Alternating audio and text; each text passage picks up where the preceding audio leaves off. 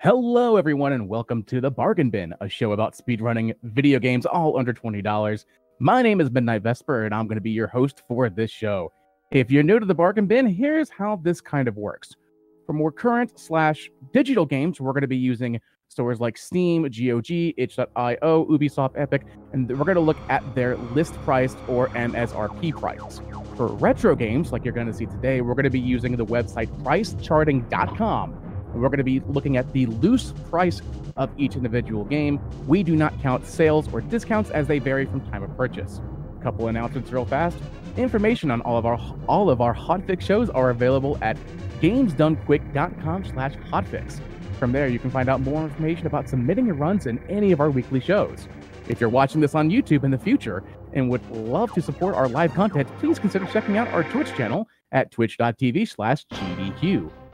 And of course, if you have an Amazon Prime account, you can subscribe to any Twitch channel of your choice every month for free. Please consider using your Prime gaming account to subscribe to the GDQ Twitch channel. On today's show, since we had our lovely Nintendo Direct, it's going to be all about the Super Nintendo today. We're going to have the original Star Fox by Snake Madness, which has a loose price of around $14. And then right after that is going to be Final Fantasy Mystic Quest, which is just a dollar more for around $15. It's going to be a retro powerhouse today, so sit back, relax, and enjoy. Snake, how are you doing on this wonderful day? I've been spinning my wheels for about mm, two and a half, almost three hours, so I'm doing pretty good. I'm hyped up. Pacing back and forth, getting ready for it. I got BK for co-commentary. Uh, great runner when he did run this game, and great Super Mario World uh, player. So, hey there, BK. Howdy, everyone. Uh, yeah, I haven't touched this game in years. Uh, I play Super Mario World mods now, but uh, I'm still very fond of it, and it's fun to talk about. So here we are. Thanks for having me. So, so I suppose we may as well get ready, and uh, time starts when you finally gain control of your Arwing. So there's going to be a moment here before uh, time actually starts. Good luck. And uh, I'm sorry very much about the black borders that you're going to be seeing around the game. This game is really weird due to the FX chip and the limitations. Uh, for performance issues, they had to basically scrunch the aspect ratio just a bit, but then it's going to widen out on the world map. So, uh, not too much that can be done about that, but time's about to come up here in three, two, one, start. So, you might be wondering, how do you go off and speedrun an on-rail shooter of all things? And to be fair, that's a fair question. Uh, BK, if you want to go ahead and uh, explain a little bit of that while uh, I focus on my shots here. Sure. So in this game, there's basically three categories of time save. Um, the first one, which is the most evident off the get-go, is um, this has a boost button, which makes you go a bit faster through the the auto scroller. Um, and by and large, Jake is going to hold that down the entire run, with some exceptions I'll go into later. Um, so that's one time save, just literally boosting to get through the levels a bit faster. Uh, the second one is this game lags quite a bit. You'll notice that, um, unlike most SNES games, which run at like 60 frames per second, this one hums along at about 15 and then slows down when it's pretty busy on screen. Um, so lag reduction is another very big part of the run. And in order to reduce lag, you'll see Jake um, like fly off to the to the far edge of the screen every now and then. Uh, and right now he's deployed a bomb to get um, all these enemies off screen as quickly as possible, and that's another piece of time save. Um, and so lag reduction is going to be a recurring theme. Um, and then the last piece of time save is fast boss kills. Um, so this game has fairly elaborate bosses, um, and there are some pretty elaborate and tricky strats to kill them quickly. um, and then off-screen them after they die, so the uh, the explosion is processed off-screen, which saves a bunch of time. And speaking of bosses, we're about to come up on the first boss of the run, the attack cruiser. And uh, recently we ended up finding out more about this boss. So throughout, uh, near the start here, I'm going to be boosting up on him. Uh, and doing this, if I position myself close enough with these boosts and get the kill on this uh, right node, he won't spawn the ships like he normally does because boosting up there ends up delaying his ability to go off and spawn them. Uh, what's about to happen here, hopefully, if I get it, is an animation skip, which uh, normally when you kill him, he flies up into the air, goes spinning around. It costs you some time, but uh, Fling, one of the older runners for the game, ended up accidentally coming across that if you hit him after uh, he dies, he just drops straight to the ground, so you can just avoid that altogether. Very nice. And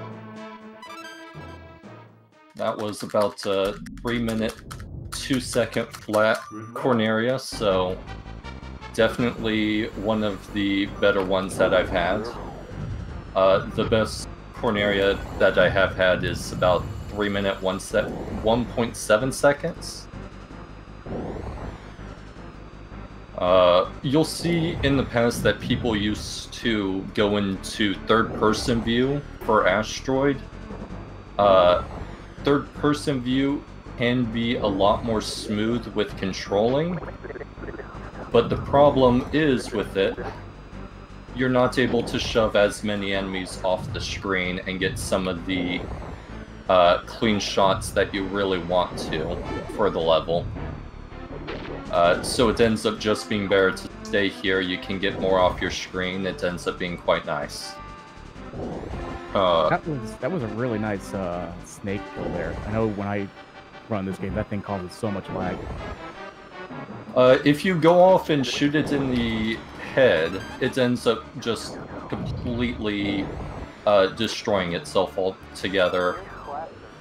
Uh, otherwise, it's going to split into multiple pieces like that.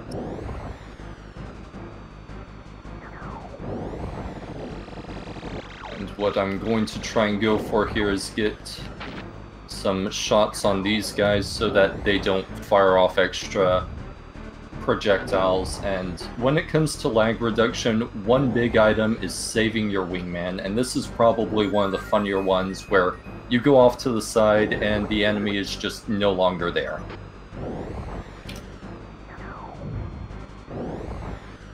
Ooh. And uh, another advantage of first-person mode is that um, the game doesn't have to render all the polygons in the Arwing. Instead, it just has to render this these few sprites of this green reticle here, so it, goes a bit faster.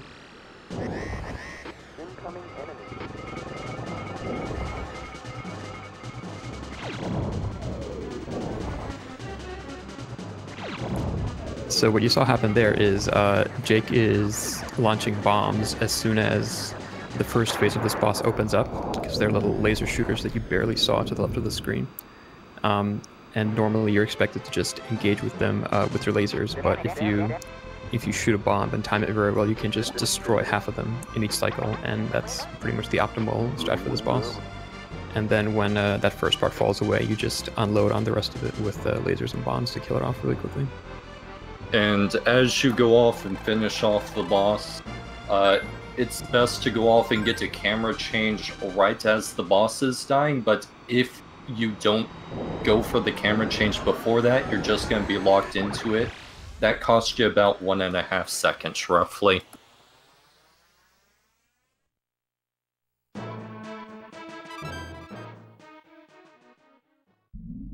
And let's see, going into Space Armada. So the double lasers that we have right now, the basic lasers and double lasers are polygons, so they're really laggy compared to the Type B blasters that we are just about to get right now.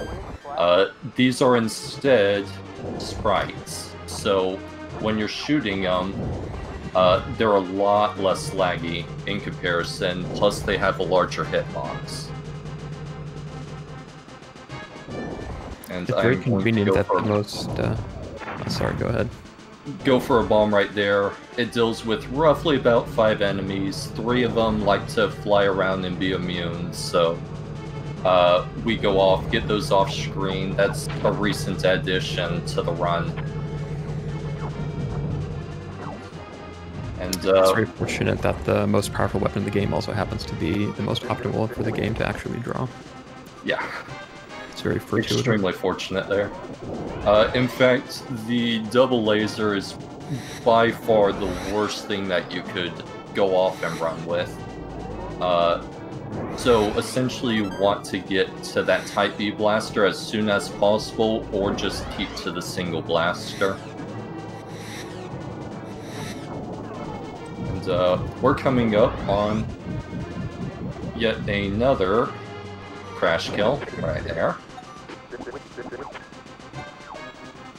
A little bit trickier to go for, uh, considering it's right out, and you really want to get rid of this guy because he just stays around way too long.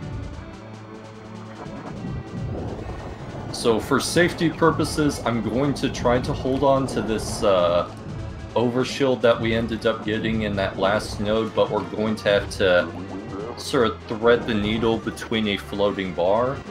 Uh, we don't want to stop our boosting whatsoever. We want to keep it going at all times, but in doing so, uh, trying to get past this bar that's going up and down is a little bit trickier.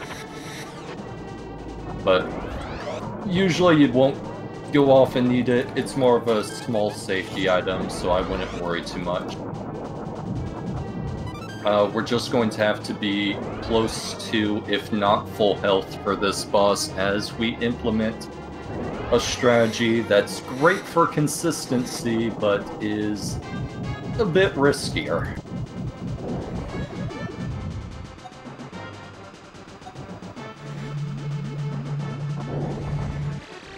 We start rolling up on the atomic base. Uh, coming up here, you'll see that checkpoint there. We're just gonna ignore it, just boost past it, and on the second boost here, we're just gonna level out, and that leads into the shot for that guy. I just want to point out I love the music here. Oh, the music's amazing, especially the uh, Corneria theme. Uh, I've had so many runs go off and reset, and the fact that you get to listen to Corneria first is definitely uh, helpful in terms of just getting through that first stage.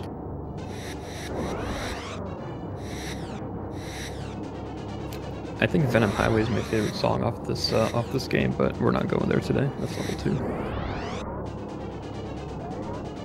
I would also say uh, Fortuna over on level 3 has quite amazing music.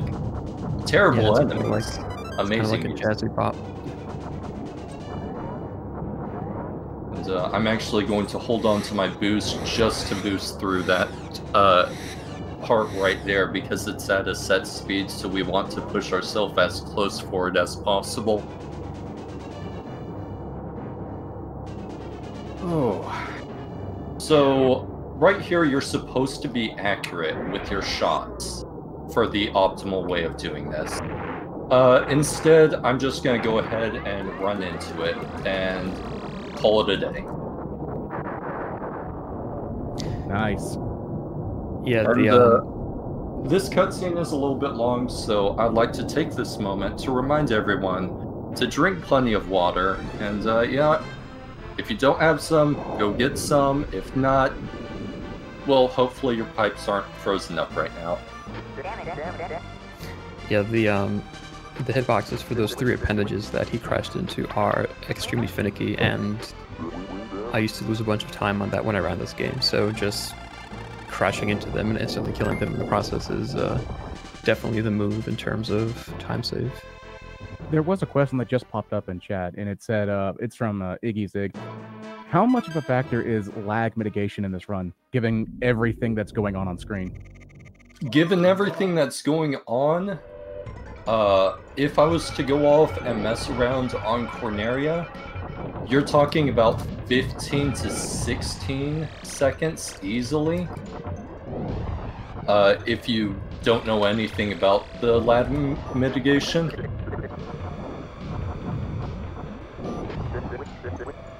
Uh, just that alone. Uh, boosting would be another roughly 15 seconds if you didn't boost at all. So it's as important as constantly boosting.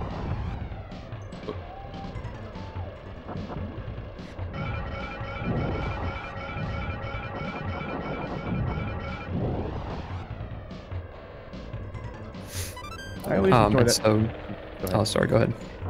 No, I was gonna say I always enjoy the enemy that uh, with with the legs that ends up uh, being hurt because of the spawning of what's around him.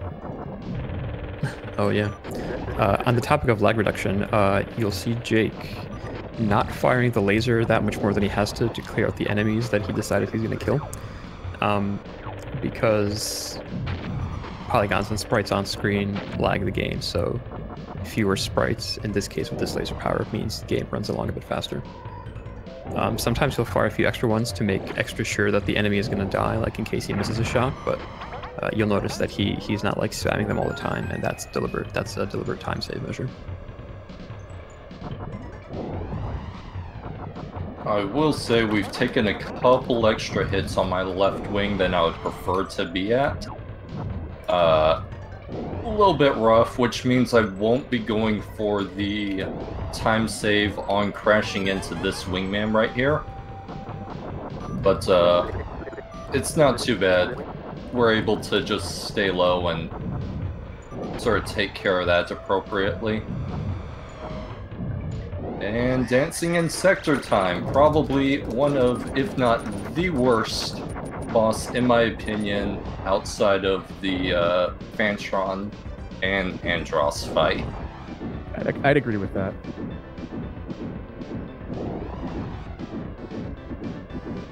So, this boy is uh, a little bit rough in terms of trying to do fast.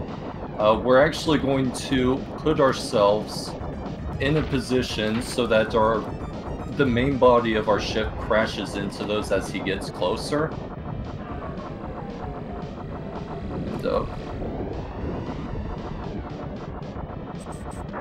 that was an alright fight. Nice.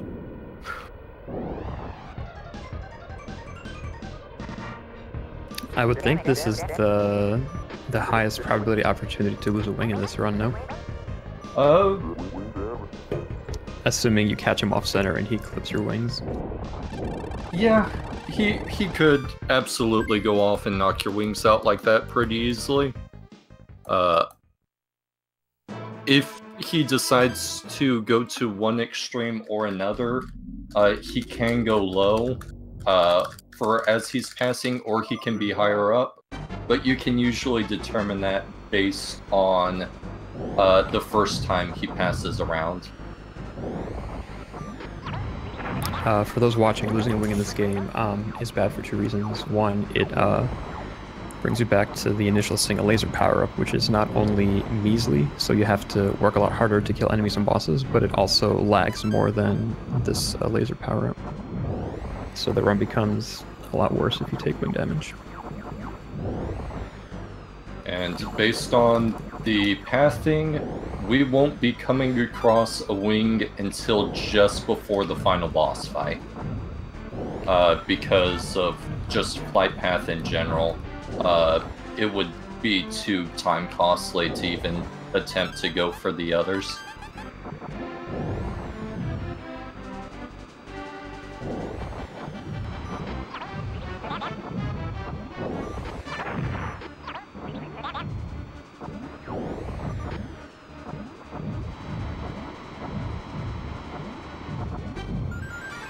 Oh, So one of the harder tricks will eventually be coming up here. Uh, the Phantron skip. Uh, it's really awkward to go for. Uh, you'll find it in most of the top runs on the leaderboard. But it requires that you go off and end up using a bomb to uh, bypass some damage. Therefore making it so you can skip out on the second phase of this fight as you lay in some more shots.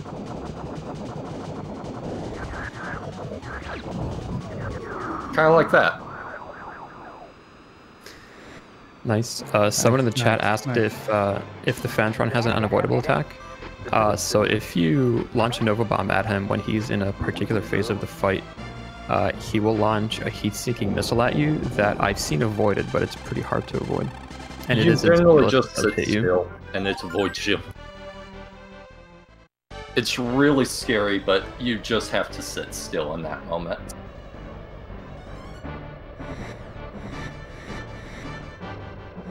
That's not a strat I knew about. I guess Nintendo was counting on the player panicking and trying to like swerve around it, which is really hard.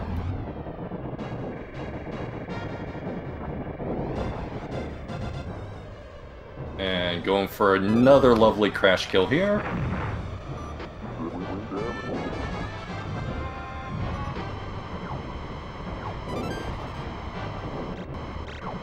So, uh, some of the few times which you don't boost in this game are so you line yourself up with crashing into an enemy because that is a faster way of killing it, which is time save.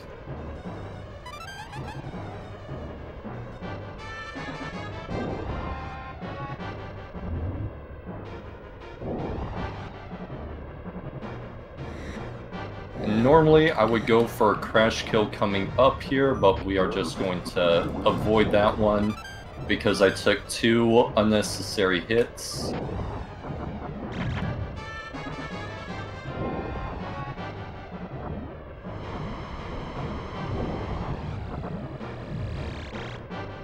And now we're coming up on the french fries. These things just love to chug that frame rate. So the best way that we can really deal with them is just moving side to side, trying to keep as many off our screen as possible.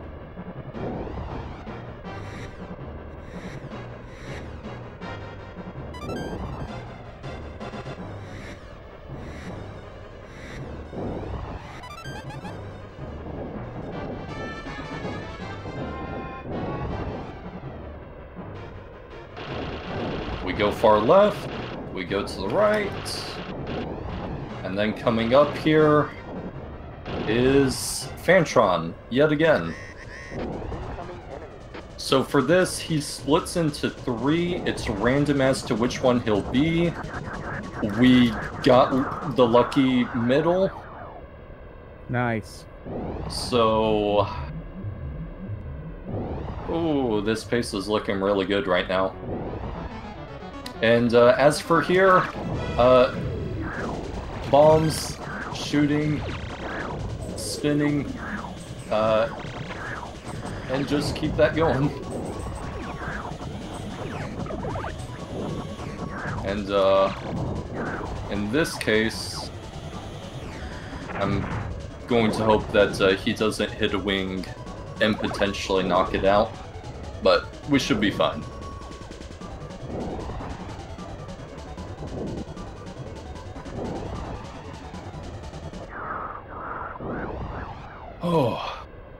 Brings us to the final stretch towards Andross, which uh, a one cycle is required to get a new record most of the time at this point. Uh, and doing so is approximately 10 shots for each eye in a relatively short amount of time.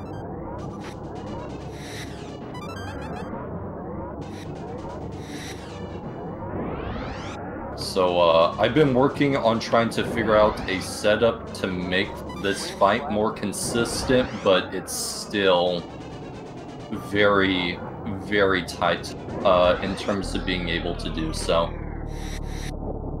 But you are able to delay uh, his projectiles, if you set things up right, this is not going to be a one cycle, sadly.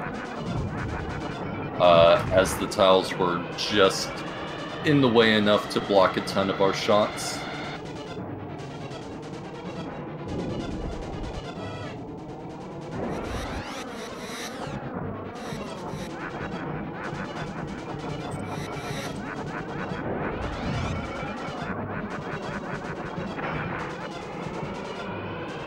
That's going to cost us pretty big.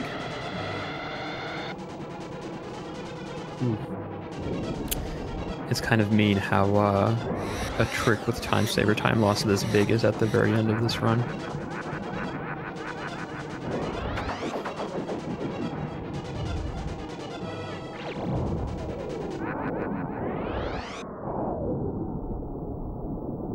GG, nice run. Time.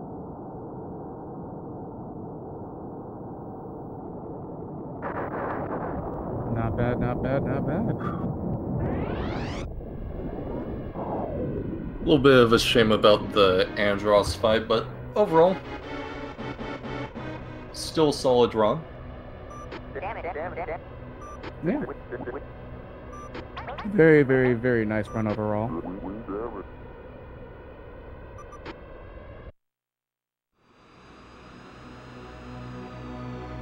Let's see. What was the exact final time there? Looks like a uh, 2238. All right. Whew. Nice job all around. Uh, anything, any quick announcements? Like if if someone uh, were to maybe they watch this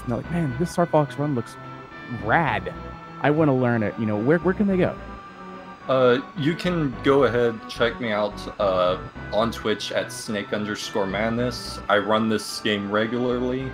Uh, I will be working on some uh, boss video guys guides and some uh, lag reduction videos, just to sort of explain that. But I'll freely go off and explain any questions that anyone might have about this game. And also, you can find the Star Fox Discord.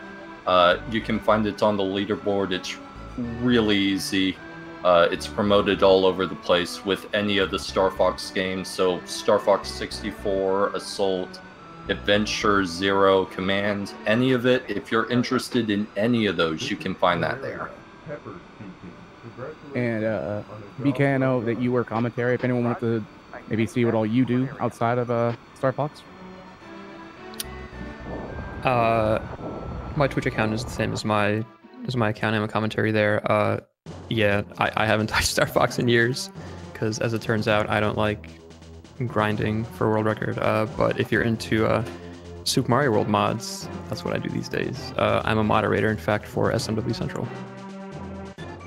Oh, nice. Uh, any final words? Any final shout outs? Anything else along those lines? Honestly, just big thank you to Vesper for having me on here and everyone else with GDQ, and also massive thank you to BK for joining me for commentary. Uh, trying to get someone on was a little bit tricky as schedules got muddled given everything going on as of late, so it's appreciated. Thanks for having me. It's a fun game to chat about. Have a good night, everyone. Yep. Just real quick, uh, just so you know, your subs, gifts, gift subs, Amazon Prime subs, and bits cheered on the GDQ Twitch channel help support our weekly hotfix content. So thank you so much for supporting our shows. And if you missed any of the runs from Awesome Games Done Quick 2021 online, or if you want to watch any of the previous hotfix shows, you can go to youtube.com slash games done quick and check out our archive uh, our, I'm sorry, check out the, the archive of our live shows. And of course, the, all these hotfix shows are brought to you by you for viewers like you. If you have like to have ad-free viewing, please consider using your Prime Gaming account to support the weekly GDQ hotfix content. We're going to take a small little break here to play some ads and get all that taken care of. So it's a great time for you to hydrate, stretch, walk around, and get all that taken care of because coming up next is Final Fantasy Mystic Quest. This is going to be a fun race. We have two two lucky runners for this one. So stay tuned. We will be right back.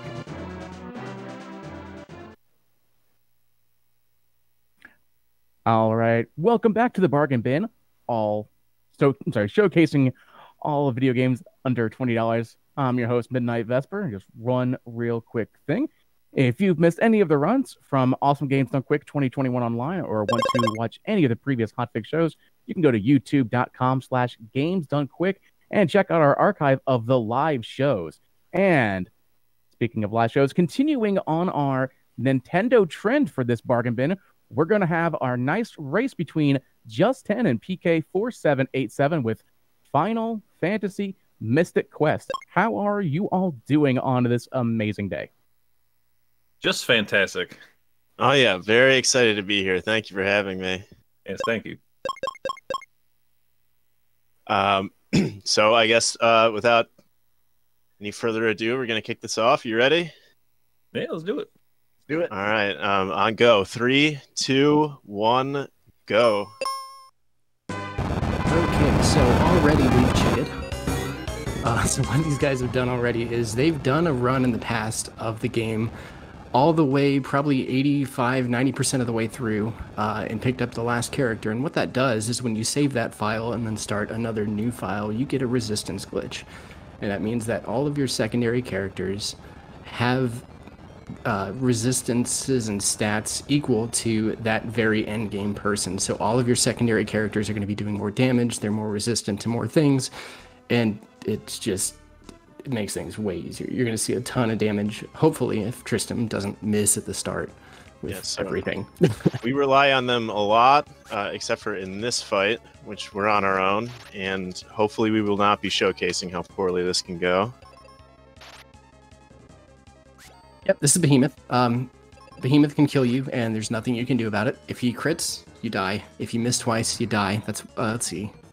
PK's through. I saw him miss on on 10 side. All right, he's through as well. Nice job. You you- beat the the first final boss of the game. so uh, we could point out the number of places you could reset if you're really going for a PB in this run, but it's it's it's for the first 15 minutes. It's almost every single encounter could potentially be a reset. Yeah, this game is is so like it's very simple. There's um um, most Final Fantasies have more like let's say swords. Like I know Final Fantasy IV, for example, has more swords than this game has weapons entirely, and so it's, it, there's not a whole lot to it, uh, which makes doing a perfect run very uh, very reasonable. Like there's it's, it's very possible to have a, a run with very few or no mistakes. And just real quick, uh, just a quick uh, introduction from all of you, just in case someone may be coming in late.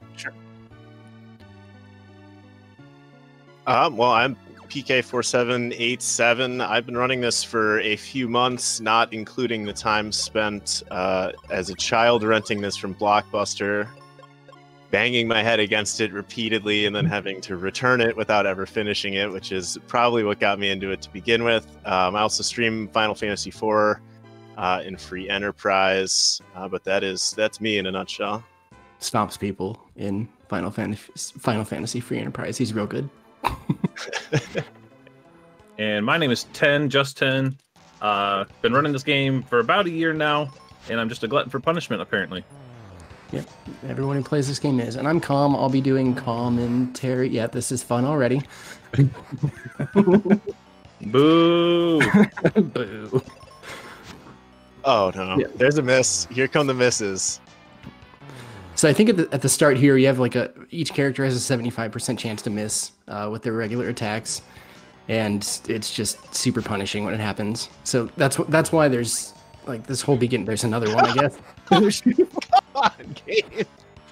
75% by the way um, yeah basically one miss if you're really looking for a pb attempt um, just because uh, ben, ben so ben's the character that they've named by the way that that is ben uh, ben can take damage from or ben takes a ton of damage from everything here at the start uh, so like one miss can mean an extra attack on him which means he dies which means everything's slower which means reset uh, let's see. So Ten's coming up to the first boss fight here. Uh, so he Kaeli has the life spell, which is supposed to instant kill undead.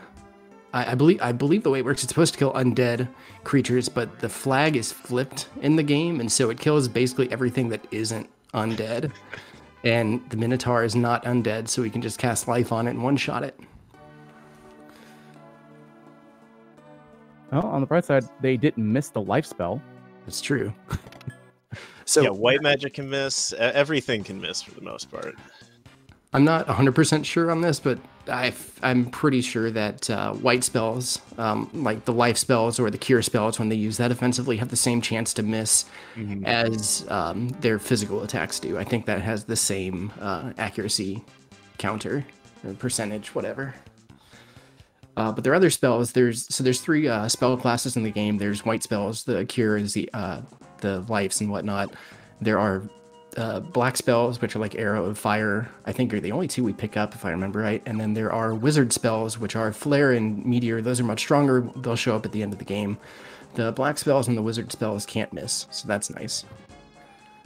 Only time we're sad is when those get reflected in our face, which doesn't happen a whole lot, fortunately.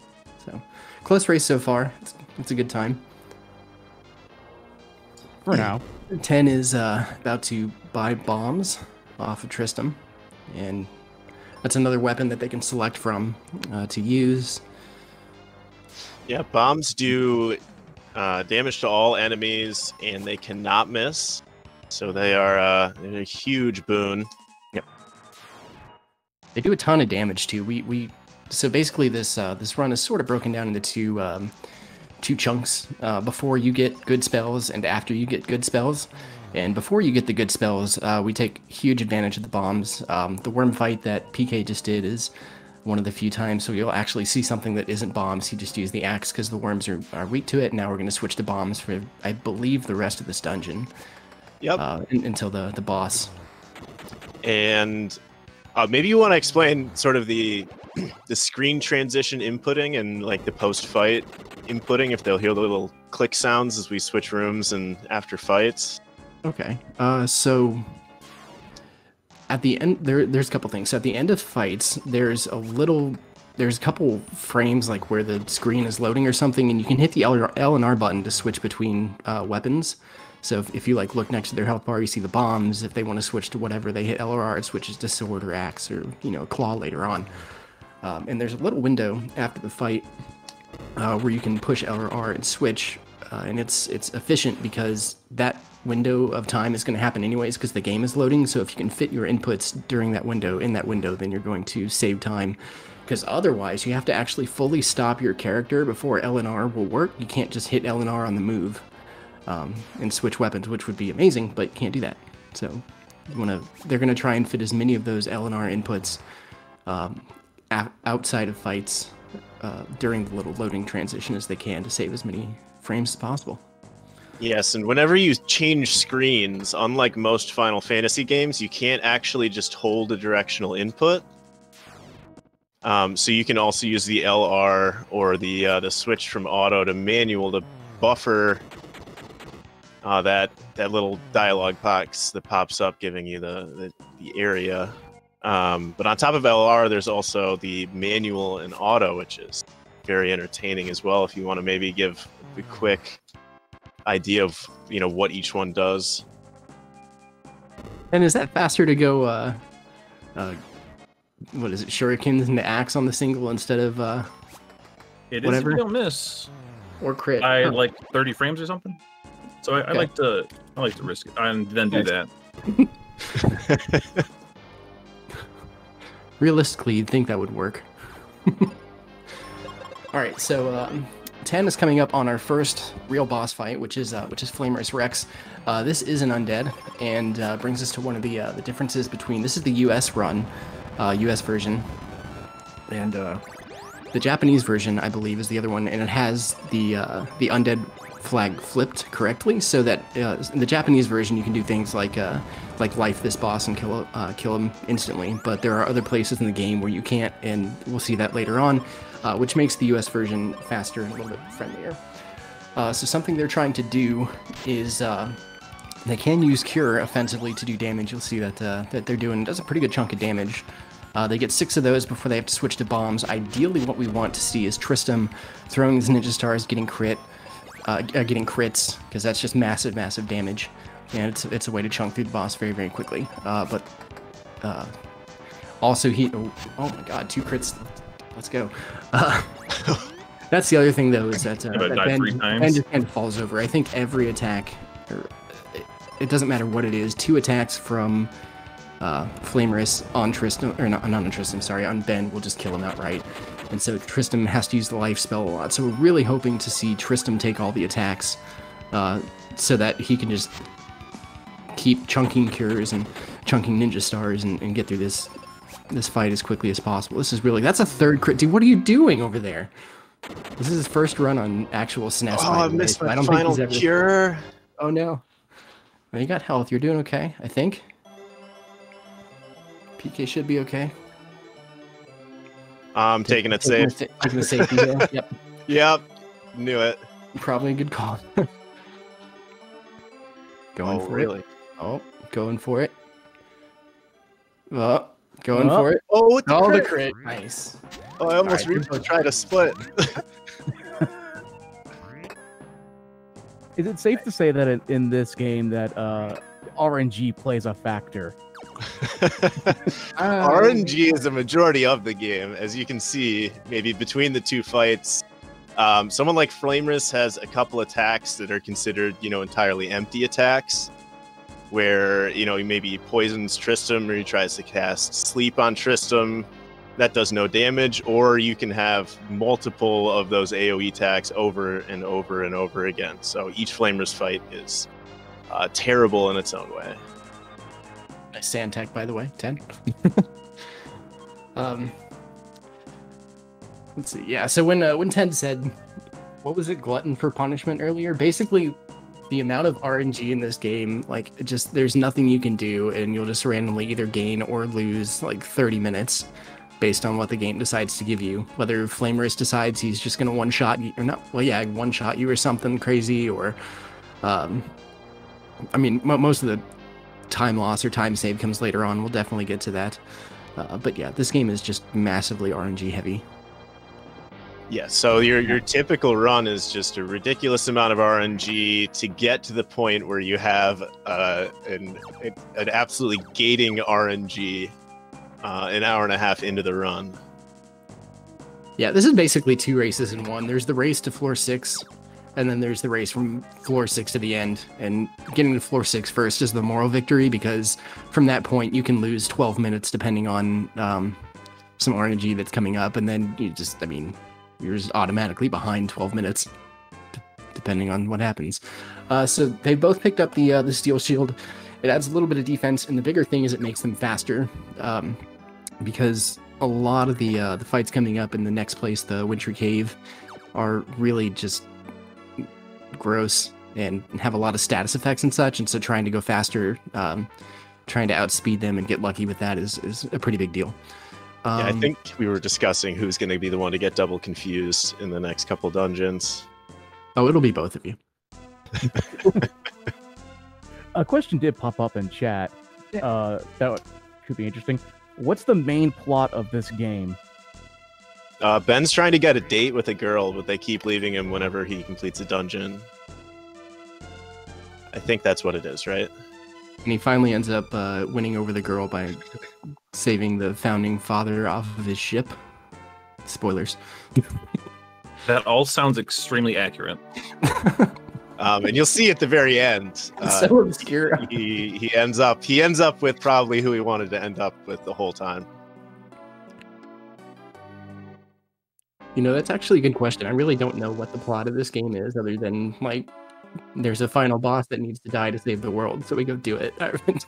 yeah, there- Ben has a very very uh, poorly explained backstory. In that very first cutscene, he basically says, "What happened? My entire village just got destroyed." And then the floaty guy's like, "That's fine. Come with me. Let's go do some stuff." And then that's about it. I think he says something about the Dark King taking over, maybe Oh yeah. something. Oh, yeah, so it is just there's a final boss and you got to kill him. Easy plot, simple Dude, plot. I'm not gonna lie, I'm not sure I've ever read a text box in this game. I think I, I think the last time I had a text box read was when I first played this game back in like '92. And the only reason why I know because I still have the original cart, and I I loaded it up a couple years ago, and one of the saves was called AOL 4.0. Oh dear. So Yeah, I'm trying I- to thi- Oh, go ahead. I was just gonna say I'm trying to think of a text box that I remember seeing in this game other than so and so has joined your party. Ah. I'm sure I'm sure there are others, but I can't tell you what they say. All right, so we picked up Phoebe. Uh, Phoebe is our offensive lineman. She's not very fast, but she hits really hard. Uh, she has thunder spells at her disposal, and that thunder spell does a ton of damage. You can see on 10 screen, he just um, exploded those worms, and we're going to do that a couple times throughout this um, uh, throughout this dungeon in particular, because there's a lot of stuff that's weak to thunder. Has anybody duped yet, by the way? No, I sir. have not. No? Um, maybe you want to explain what like the auto and the manual settings are for anybody who Sure. is, is not noticing those, because that's big in this dungeon. It's true. So if you look at Phoebe, uh, to the right of her name, you'll see the word manual or auto, depending on which screen you're looking at. Um, if they're on auto, then you have, as the player, have the option of controlling what they do with their turn, um, which gives you control, but obviously is slower because you have more inputs. Um, and if they're on auto, then they are going to determine what their best course of action is. Uh, one thing during this speed run is we understand what they're going to do or what they're supposed to do, at least on auto for every single fight, and we take advantage of that. So, like anytime in this, uh, there's three of those uh, hedgehogs, or if there's three of the scorpions, or two of each of those, um, then we know we could just leave Phoebe on auto. She's going to cast fire, and uh, and she's going to one shot them, and we can just leave it at that. And anytime there's two turtles, like 10 just had, uh, just leave her on auto. She's going to auto thunder, and she's going to kill them all.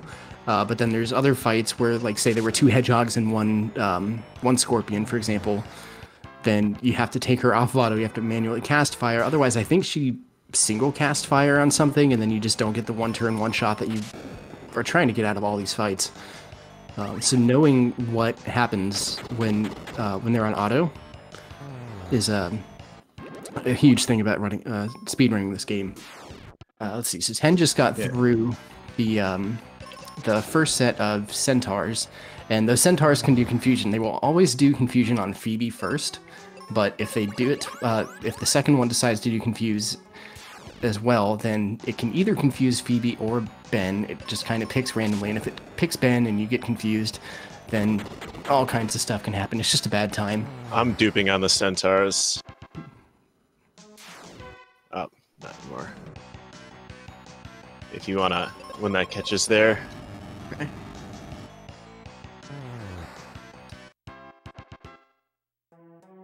Oh, I have. Oh.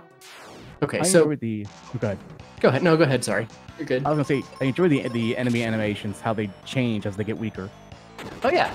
Um, that's that's a good point. The uh, the enemies have uh, like as you do damage to them, they have different uh, yeah different animations So you can see. I think they have two apiece, and then the bosses have I want to say four apiece, if I remember right. So you can use that to kind of gauge where they are um, with health.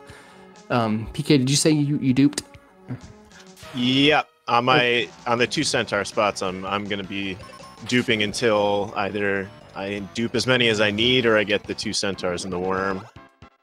So duping is super simple. Uh, basically, what you do is you have to put P- uh, Phoebe on manual. You go into the item uh, tab and you use whatever you want to dupe. And then when it gets to Phoebe's turn, you just back out and run away.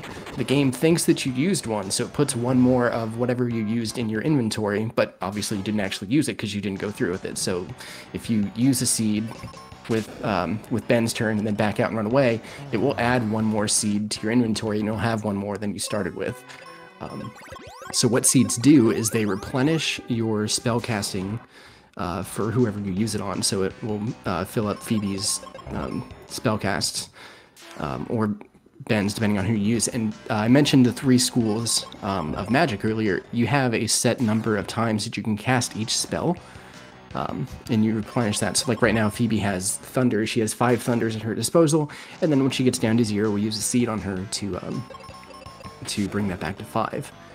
And so we're gonna dupe. I think three. I think they both dupe three seeds. If I'm or normally um, dupe three Well, seeds. I did just finish duping my third. Okay. And that will be enough to get them um, to where they're going to have infinite seeds later on. We'll talk about that when we get there too. Let's see. So 10 is getting to the squid. The squid is um, super easy. Basically, you just um, kill off the two birds on the side, and then you shoot him in the face repeatedly. Okay, you thunder him once, and then you shoot in the face repeatedly. Um, if if uh, if Ben dies here, it's really not a big deal. He's kind of disposable in this fight because Phoebe does massive damage. Just like the uh, the Flamerus fight, we're really hoping for the secondary character to do a ton of damage. See you, Ben. There's a crit, 686. That's huge. That's that's a big hit. And goes back to the the resistance glitch from earlier. Um, Phoebe's doing a ton more damage than she would otherwise, and it's actually like I, I've 95% of my runs in this game, you know, have been with uh, with the resistance glitch. And then, like, let's say, you know, if I start a, a new file or something and don't have that and have to go through it for the first time, it's actually really challenging. it's a lot more challenging to go through the game without the resistance glitch. It's amazing how big of a difference that makes. Um, and all you have to do again is you just go until you get Phoebe, you pick her up for the second time, save a file, and then you just start a different file, and you automatically have that. So you may you may have used that in the past before and not even realized it. Phoebe, why miss? Please no.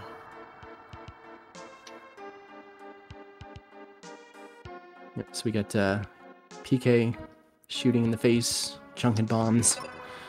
All right, so what 10 is doing here is he's picking up the heal potions out of this chest and then using the cure potions. What he's doing is he's setting up the top row of his inventory with the seeds, the what was cure potions, the heal potions, and uh, later on it'll be uh, what's called refreshers.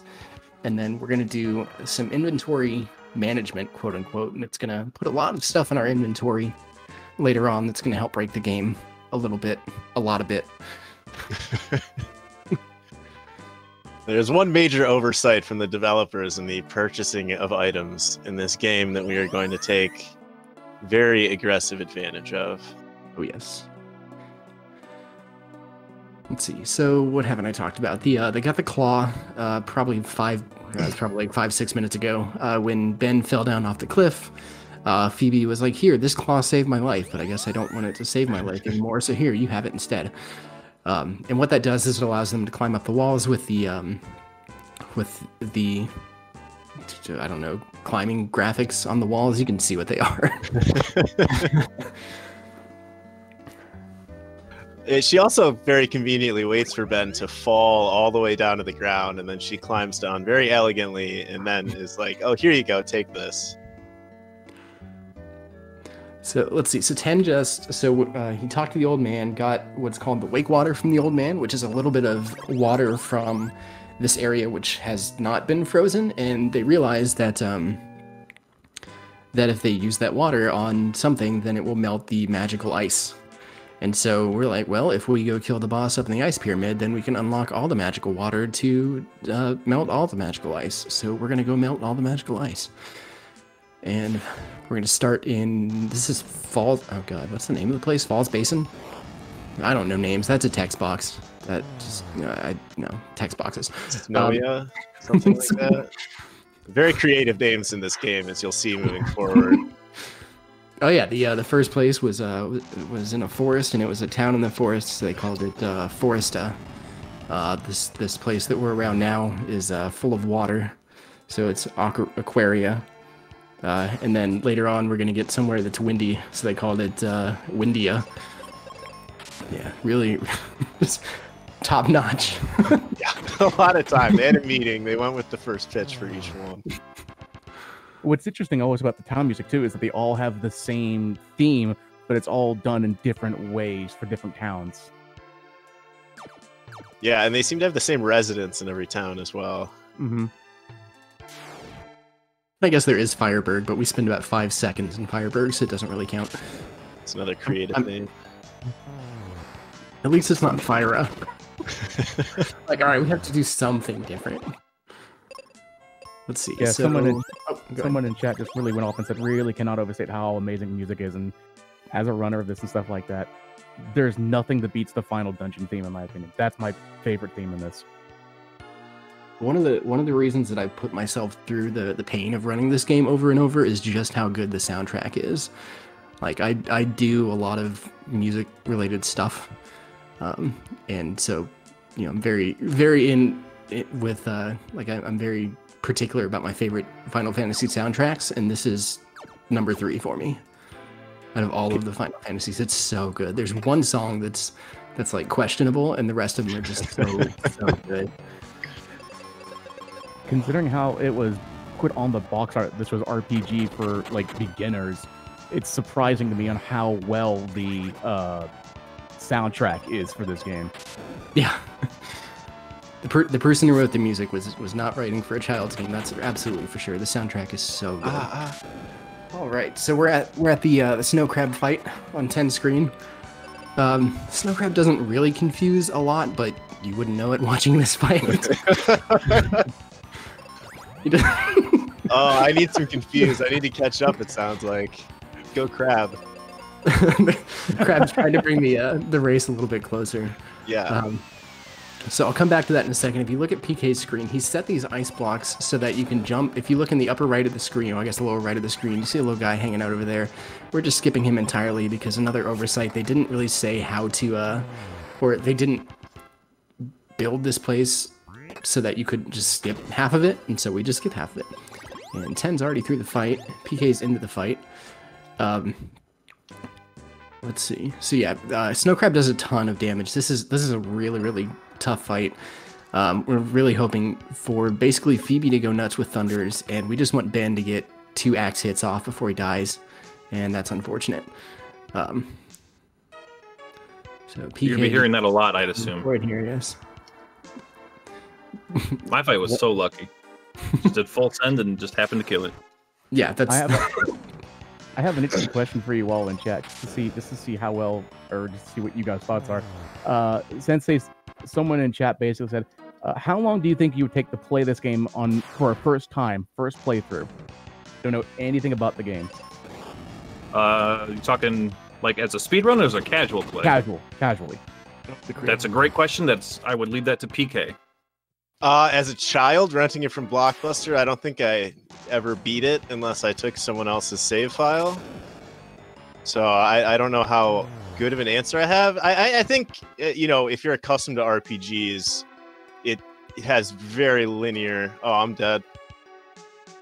Oh no! nope, nope. That was, that was a tough time to take that question right there. Um, you know, it's it's a couple hours. though. There's a hundred percent run, and I, I know this doesn't probably give a great estimate of time, but that is only about you know potentially 45 minutes to an hour longer than this run. So it for just a blind playthrough, I would you know maybe a couple hours, but it's very very linear. It, it is very. I would I would estimate somewhere between like if you've never played the game before and you're taking your time and going through it and enjoying it, uh, probably ten to twelve. I would say for, for an RPG, it's very very quick. Um, and part of the part of the thing about the the speed runs is that we skip an entire like we skip twenty five percent of the game. Um, and so adding that on plus you know, just going through and, and figuring out how stuff works, probably ten to twelve hours. I would say for a for a start to finish first time playthrough of this. That snow The only reason I don't so have rude. a that was pretty clutch. the only reason I don't have a real answer is because I've actually never played this casually. If I actually don't have a clue, Wait, you never played this? Your very first run was a was a speed run? That is correct. I didn't know. it. monster. Um, yeah, it- that's for why I those who are literally haven't read watching a single text box. For those watching my snow crab run there, uh, you will notice that the bosses on essentially any attack that any monster does has the ability to crit, which does um, an obscenely larger amount of damage than the normal attack would do, and is one of the the primary things that can kill almost any run. Because even someone like Phoebe on this next boss can be crit for essentially her entire HP pool. Yep, it's what makes the quote unquote safe boss fights not safe at all. Like you just never know when one of those safe boss fights is gonna crit the secondary character, kill them, and then all of your secondary characters have the ability to, to heal or to to life and bring you back to life if you die. But Ben never gets that option. Like we never pick up life. That's in the quarter of the game that we skip. So if your secondary character dies, you have to have enough damage to get through it, or you just kind of die as fast as you can and start over. So PK, did your fight not go very well? It did. Uh, it did not. Ben was dead. Phoebe was 26 is- health. Got through it. Oh, but you killed. That's a nice first try. As He- a friend of mine says, life is a resource. Use it wisely. You only have to live with one health. yeah, she had 22 more HP than she needed. Um, my count was slightly off because I I didn't never got a second axe hit off. It was a different strat than I usually see too. The the seed in the middle that was something I had kind of given up on because I never had. I, I usually relied on Ben to do that to get that second seed, or not the second seed to get the seed mid fight, and he was always just dead. Yeah, that's that's that's why I originally lifed him up. But at least he meat shielded for you know one hit, which is the most I can ask for that guy right now so far, I guess. Uh, Let's see. So meat shielding reminds me to talk about defending. Defending in this game is super broken. Um, so let's say, for example, Ben decides to meat shield for Phoebe. We meat shield defend, just tank basically. Um, if if we defend, let's say we defend Phoebe with Ben, then Ben is going to take all of the attacks. Ben is going to take all of the damage. If there's an AOE attack that's supposed to hit both of them, Ben will be the only one who takes damage. Uh, so it's super, super strong. If you know that one of your characters needs to do something uh, to get a lot of value and the other character is less value, you can use that lesser value character to defend the higher value character. Make sure you get off a Thunder, make sure you get off uh, Flare later on, whatever, um, to make sure that happens and try and eat all of the. Um, uh, the status effects that could prevent that otherwise.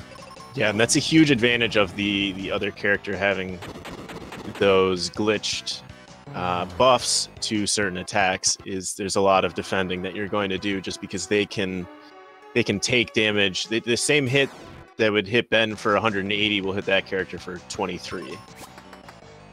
But Calamity, what if your partner is under the blind effect? that just Then happened to me too. You're too. sad. What's does blind stop? It defense? does. It does. Blind and confused, I think.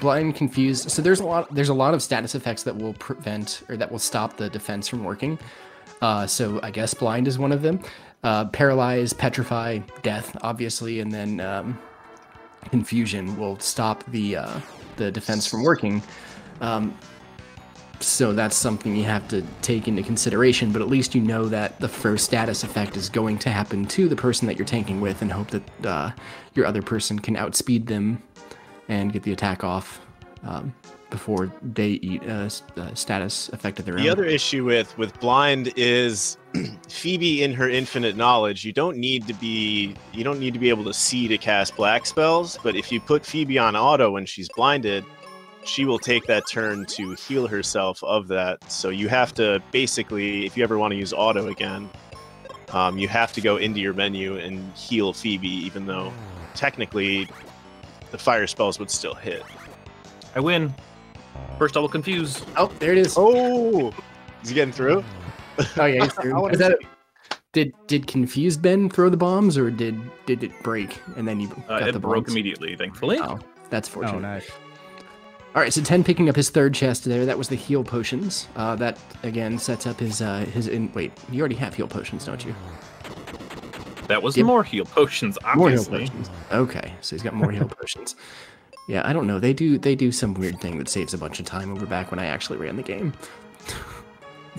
it's way faster now and way safer. Uh, so yeah, these sphinxes also have the uh, the ability, just like the um, the centaurs did earlier, to do the confusion. Uh, they will always confuse Phoebe first, um, and then there's a 50-50 chance if they're going to do the confuse on whether the next one goes on Phoebe or Ben. Um, 10 fortunately like got the confuse and then it instantly broke, so it basically just ate a second. I don't know, not a huge deal.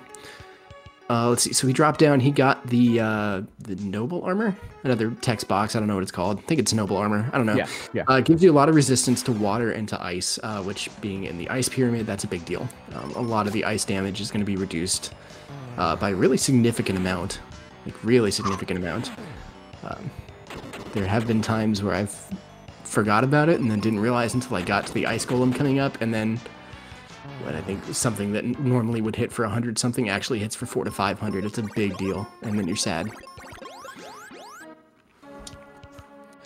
So, oh, uh, something else. I, no, yeah, another route difference. They do one of the zero use things, different place than I did. So, way back in Aquaria, um, ten bought.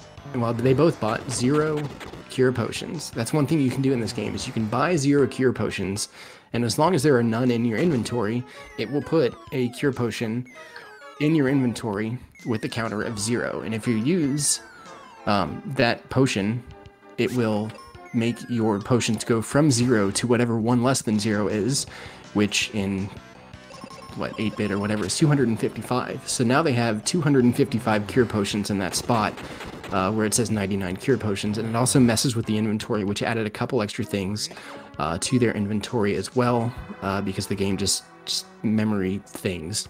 It's it's magic.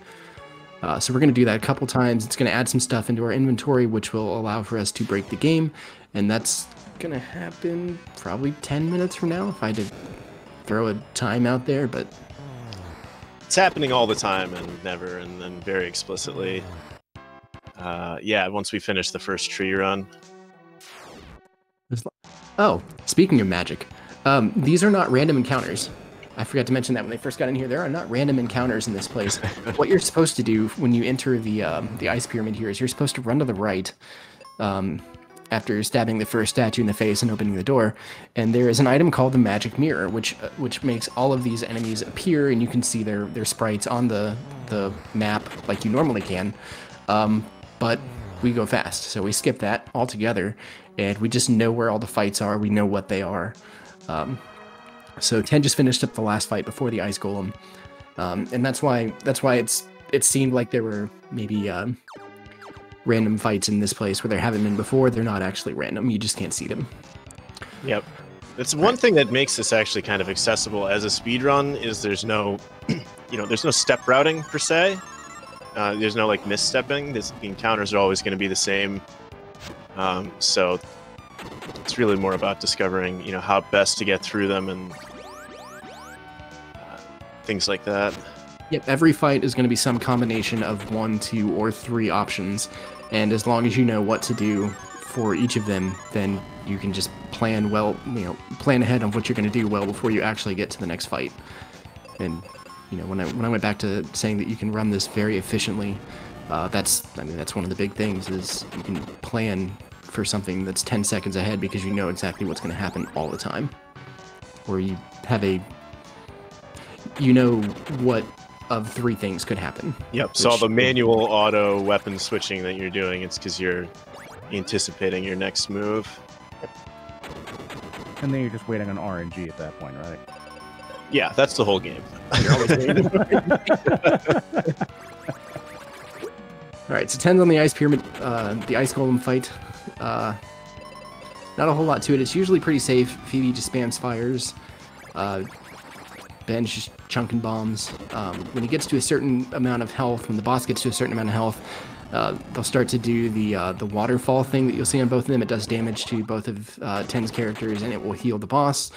Um, but as long as the boss doesn't crit Phoebe with his uh, giant stomp or whatever it is, then it's pretty safe fight. It's just uh, just a matter of how many heals does he do and you know, how quickly can you get through that that second phase of healing. Yeah, who he And also, targets uh, specifically.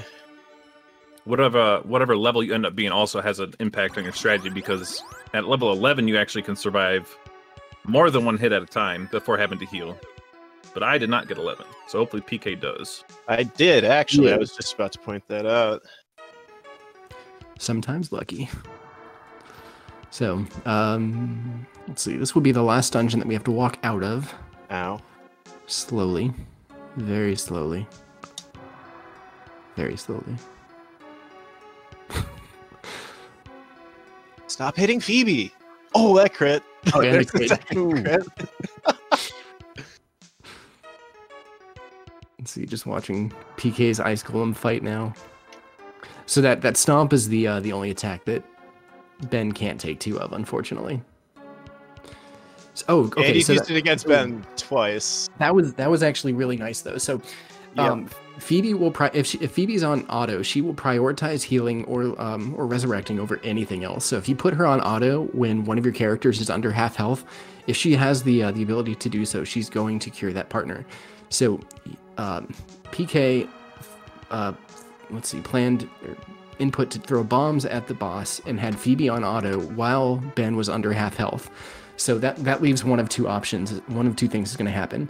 Either Phoebe's going to cure Ben and Ben will be at full health and be able to survive a hit, or actually better, the boss hits Ben, kills Ben, then Phoebe is going to resurrect him, and um, Ben gets his attack off as though he hadn't died, and so you get basically a free heal along with that turn, Yep. which was what happened there. So it's always nice when that happens. Very fortunate. Also, this is this is round two of, of for whatever reason they just leave Ben right at the very end of the dungeon. Like instead of walking out and leaving at the end, they just it's like I, I've always found that entertaining.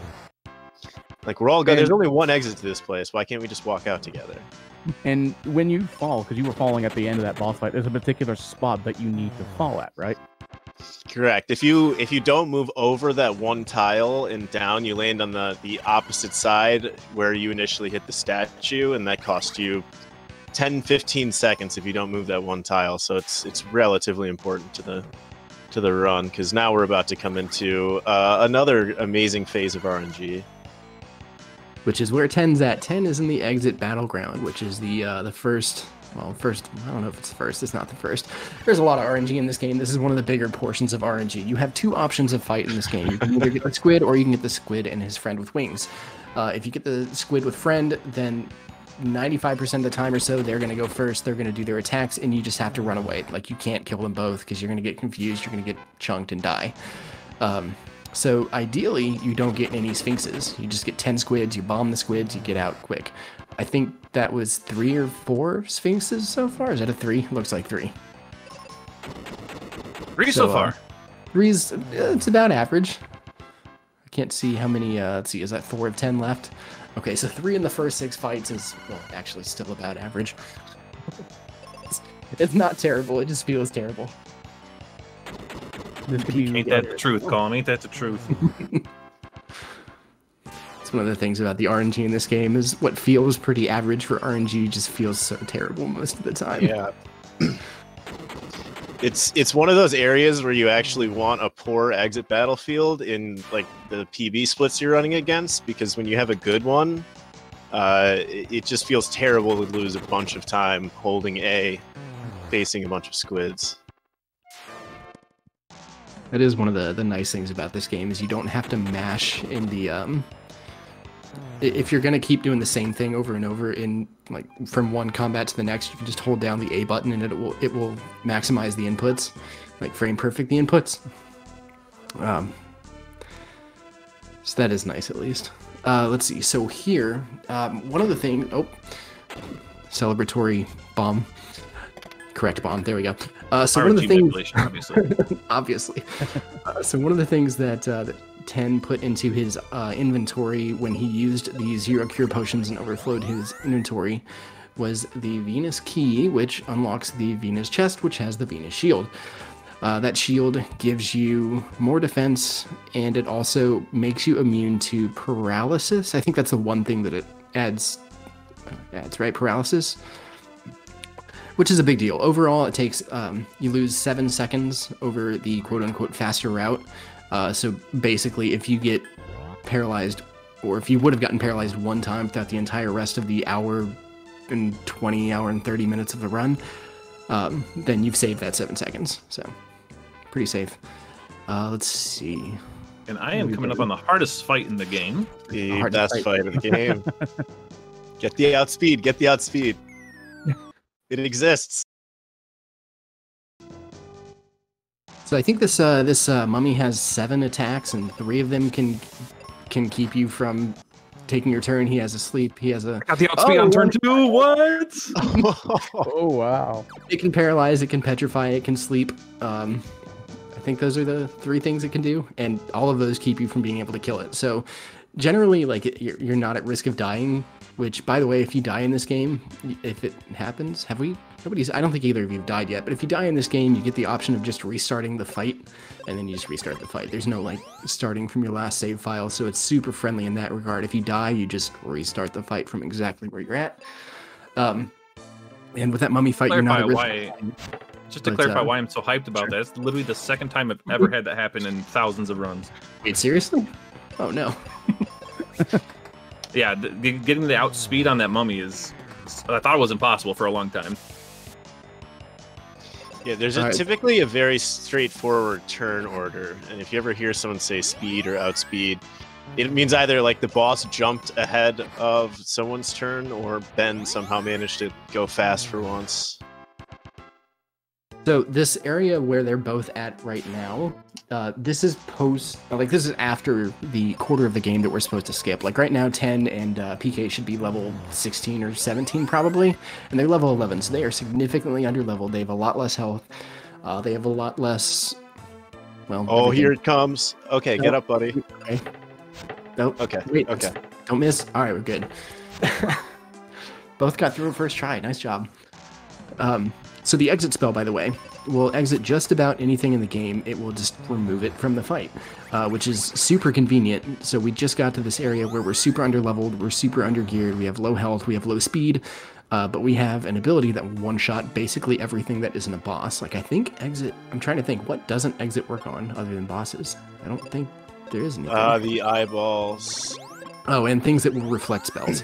Yeah. Um, which we'll run into later on. So there's not very many things that exit won't just remove from the game. Uh, so effectively, we've gotten past uh, earlier when I said there was the uh, the half of, half of the game where you don't have good spells and the half of the game where you do have good spells. We're in the half of the game where you do have good spells because exit is a very very good spell. Um, the only quote unquote downside is that you don't get experience from anything that you've exited, but we don't need it. We, we plot that into our uh, into our run. So And because it is a white spell, it does have that roughly 10% chance to miss. right. Also, uh, hi Ruben. Bye Ruben. I know it's late. I know that's late, very late, but I just wanted to point. You know, It's it's you discover that Ruben's just been with you the whole time for some reason. The running joke when he uh, when he gets uh, chunked off the side by that mummy is that we dropped our sandwich because Ruben falls off the cliff. The puns, it's so good. All right, anyways, uh. So, so ten is just bought zero seeds, and he's going to use that zero seed, which changed the cure potions into sky coins. He bought 32 cure potions, which was a very specific number to change the inventory, to add more stuff into his inventory to break the game even more. Um, and I'll remember exactly what that did when he gets there, and I remember exactly what's in his inventory. It probably added this little warp tile that he can use to go back to Aquaria, or is this Windia? you were right. It's Aquaria. It's Aquaria. So, which is exactly where we needed to go next. Um, and there's probably other stuff too. I don't know. I'll remember later. Stop Um, the ghosts. Ten is torching me right now. It's okay. You can still you can if if there's any room to improve, you know, to change anything, it's the Zuzu's tower. Oh, this And this in my whole these whole defense- areas coming up. Tree can This be is- very very. This is what you get for getting third place, all right, PK? Oh, yeah, I forgot to mention PK. Uh, just that was you took third place uh, a couple weeks or a couple days ago, right? Yeah. Yeah, Uh, eight nine days ago probably. Yep, it was a crazy run. Like bad RNG and still beat my best time by a minute and a half. That's that's awesome. Yes, So I congratulations on that. displaced. Kalmu was the previous third place. Um, we'll see it at the end. i I'm sure I'll bring it up then. But I was on pace to be about 90 to 100 seconds faster than what I ended with, and, and lost it all back in the last five or six minutes. So this game, it, uh, the race is not over by any means at any point, but uh, early lead is definitely still a nice thing to have. Uh, I've seen I've seen chat pretty much uh, so far ask for floor one and floor six. So Well, Floor I, two. go I'll ahead. take the floor six. Floor two means more Mystic Quest. Floor six means faster runs, so it's win-win.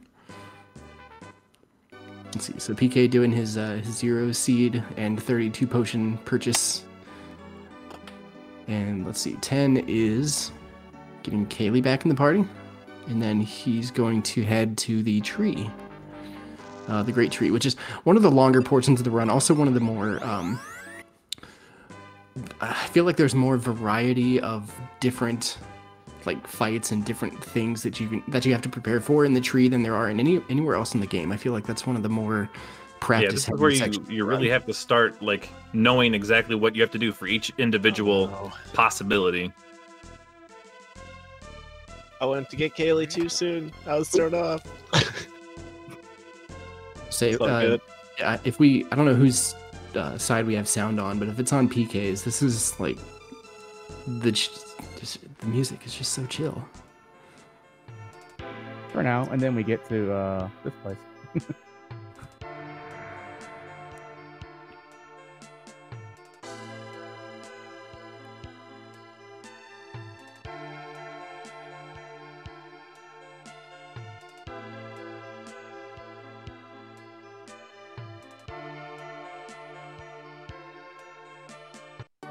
always think of that music as the uh, like the night in the Ro- night at the Roxbury, the elevator ver- music version of the song. They're like very slowly like turning their heads to the side.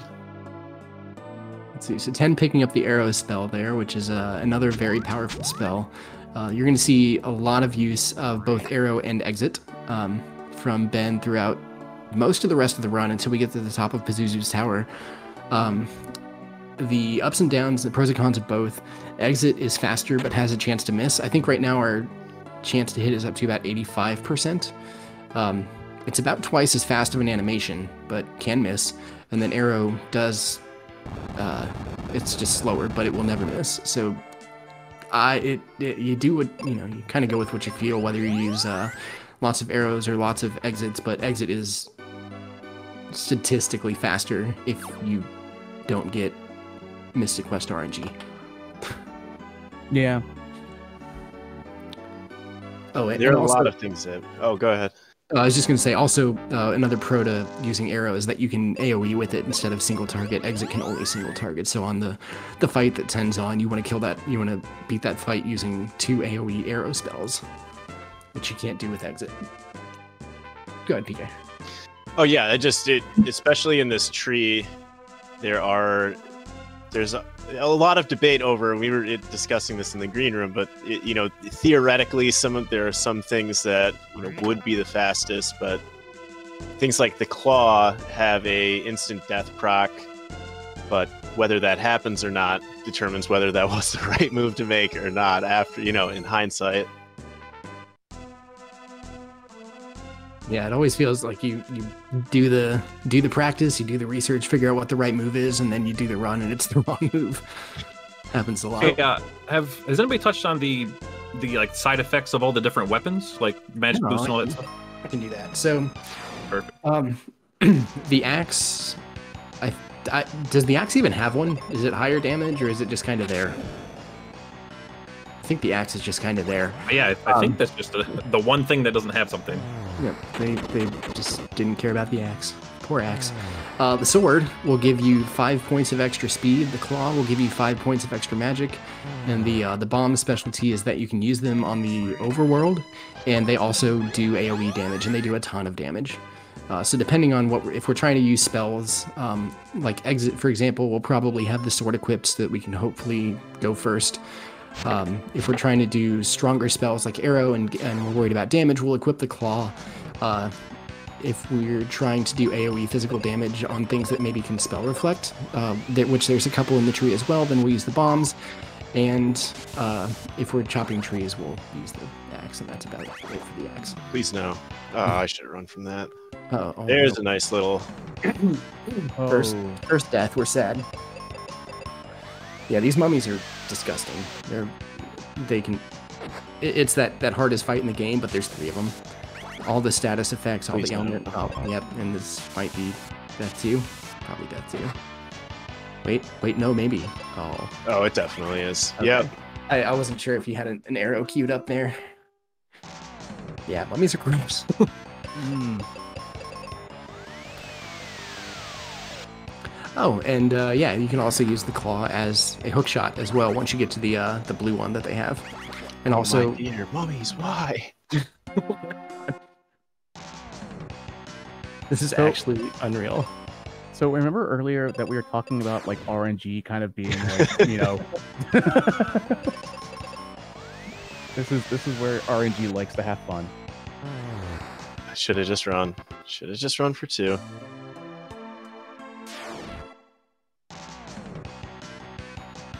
So one other thing about the claw, they they can use it as a, as a hook shot, but also as you upgrade it, it gets different status ailments that you can inflict on an enemy, uh, and you'll see them try and take advantage of that a couple times. Uh, this blue claw, which is the uh, e- each weapon has three upgrades available to us, and the, this claw is the third upgraded claw. It has the petrify ability, which will one shot uh, anything that it petrifies. So you'll see you'll see them take advantage of that a couple times throughout the run um, where they just try and petrify something and kill it outright.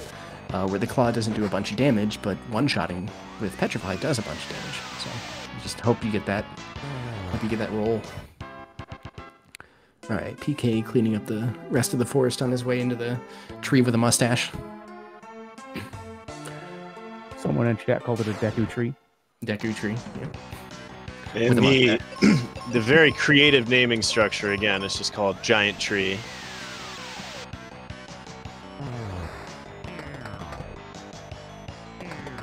Oh, now three mummy fight goes just absolutely swimmingly. Perfect. Were you level 12 at the the previous one? Uh, I don't know. I don't think I don't. I don't remember. It once you hit level 12 with uh, with Ben, that gives you enough spell power with the claw that you can arrow one of them with Kaeli, and then do an AOE arrow with uh, with Ben to kill the other two. Ben Ben never got a turn Mhm. off the entire time I was doing that fight. That, um, yeah.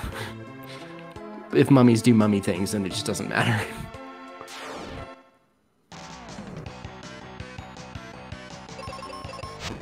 All right, tree. I like to call this place the, the Mushroom Kingdom.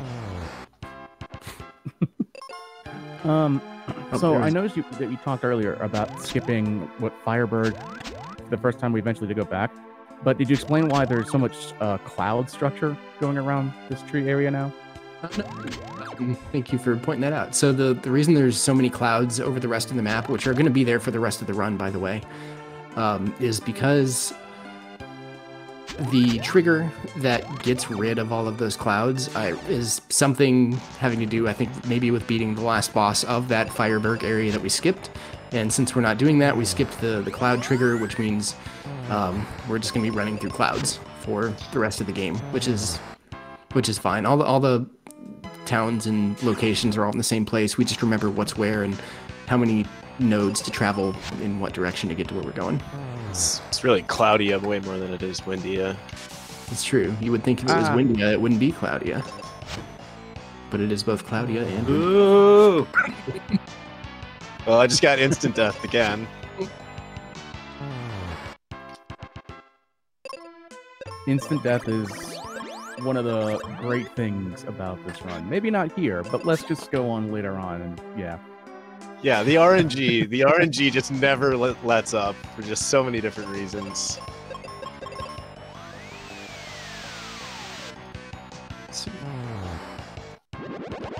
Yep, so just slowly working their way through these uh, these frogs. Dude, frogs in this game are so rude.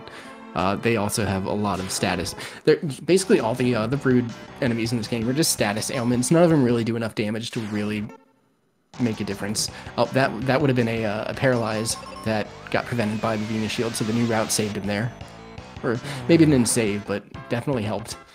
Um, so really useful that they go and get that.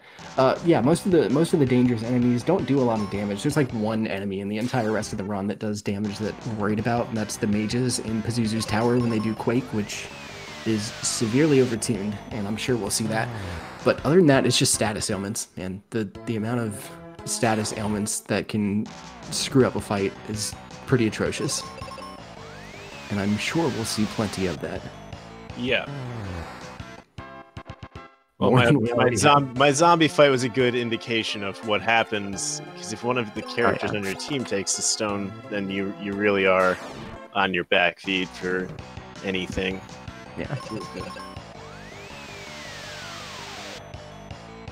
And sometimes it's actually faster just to die and start the fight over again than it is to try and heal a petrify on your teammate and and then save yourself from there. It's just quicker to die and hopefully get the one shot in the next try. Let's see. Who's close to an ooze? Ten's close to ooze. He, Ten's gonna have an ooze in his next fight. So uh, and PK could be getting an ooze in, in this fight. Nope, he gets the double worm. Good RNG. Uh, so these oozes are, are, I think, our first um, our first spell reflectors. Um, the reason that they're doing physical attacks to them is because they will do spell reflect damage right back in your face. And it, it's it, there are some games where if you get a spell reflected back at you, it like reduces the damage. Nope, if you arrow those things, they will arrow you just as strong right back, and you will. Kaeli will absolutely one shot herself. In this Not game, that I've will ever not- done that or will not not. apologize. No, nobody's ever done that. Never done that against Psych Shield either. I have no idea what you're talking about. Oh, it, it hurts even worse against Psych Shield because it's a pattern. Like that's Yeah. like you can keep track of that. So anytime anytime you accidentally cast a spell into Psych Shield, it's it's like man, I just wasn't counting. And it's, I was hoping he was gonna out, he was gonna outspeed Kales. uh, what am I doing? So we're chopping a very particular path through the Mushroom Kingdom, and killing the oozes and killing things, and like you can just see how many different options there are for different enemies uh, through this place. We've seen skeletons, we've seen scorpions, we've seen mummies, we've seen trees, we've seen oozes. And I don't even think that's all the stuff we're gonna see. And maybe I don't know, but there's all kinds of different variations of them. So planning ahead, uh, and you know, fi- figuring out what remembering what the next fight is and how to prepare for it when there's so many different options in this place is uh, it takes a lot of practice and a lot of a lot of work. Yeah, the menuing is is really part of what makes this run really entertaining. Um, switching between things back and forth, kind of trying to, you know, on the fly figure out where you are and what you need to do is a, a big contributor to the to the people who have quite good times at this game. Yeah, there's a lot of a lot of pointers to keep track of. Like um, your, I think, I don't know. I haven't played this long enough to remember exactly what stays the same and what doesn't, but kind of goes to kind of goes to say there's a lot of stuff that you have to keep track of that I don't even remember it anymore. Yeah, kind Like of a- with that being kind of with that being said, uh, I do have a question because I've seen it happen. Where like you get into an enemy and then you run away because maybe you want diff- a different set of enemies to pop up. But if you get into a situation, uh, let's just say you get the same enemy over and over and over again, is it quicker just to go ahead and fight that, or do you want to constantly run until you get the right pattern?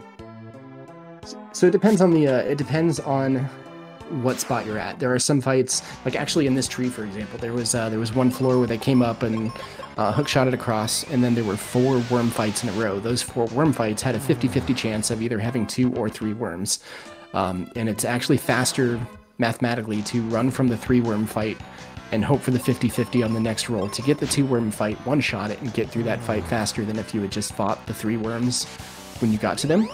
Uh, but then as soon as you go into the next room, there's a chance for two worms, three worms, or two worms with an ooze. And so now that there's three chances, um, or three different options, it's slower. Um, it- it's slower to run away and, and try and get the correct fight. So you just you're you just take the fight that you have and and run with it. So it just depends on what options um, are presented by each of the different sprites, and and knowing what they all are and whether you can run or should run or should just suck it up and fight. And I mean, just to addend that, yes, in theory, but then I've had runs where I've drawn three worms so many times that I just, you know, give up and Yeah, I got- to fight the three worms. I got three worms 11 times in a row on a 50-50 roll one time, and it's I, I've I've spent hours like in the tree just like theory crafting and testing like okay where is it faster to run where is it faster not to and like statistically it is faster to run away from three worms and hope for two if it's a 50-50 chance and then you get the 11 in a row or even like three in a row and you're just like okay do i just like throw out all of that time that i spent because in the real world it just doesn't matter. Yep.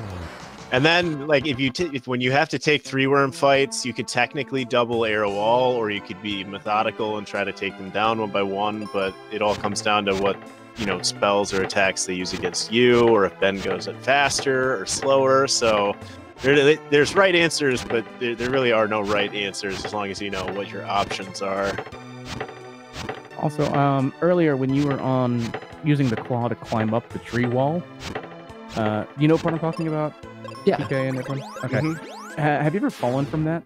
Uh, yes. Never, never, ever. I'm, I'm too good. My last run, I did has that. never fallen from that while I was watching him stream this this game, and then decided that that was the end of the run. I mean, it's the end of the run if you fall.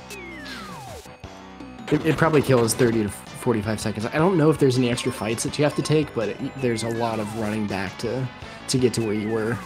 Yeah, it sends you back to somewhere you've already been, I think, depending on where you fall. So it's just it's just the feeling Not of that I have any walk. experience with it, but it doesn't take that long to get back. But it, it is annoying. I, I would imagine. No, Ten's never done that. He's the professional of us of us all. That is Kaeli's third miss. All right, so we got we got ten getting to the Gidrah fight. Uh, Gidrah's not super super dangerous um, until until they are. Uh, so Gidrah, so Gidrah can two shot ta- uh, can two shot Ben, uh, and it feels bad when that happens. Uh, but it also gives us the option of setting Kaeli to auto and lifing, which he didn't do. Questionable, but he's good. Always full send.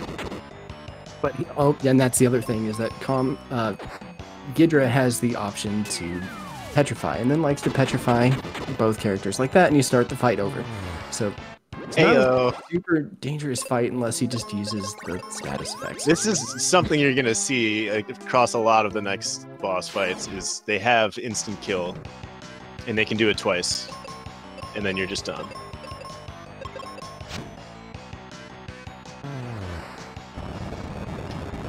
It's a worm.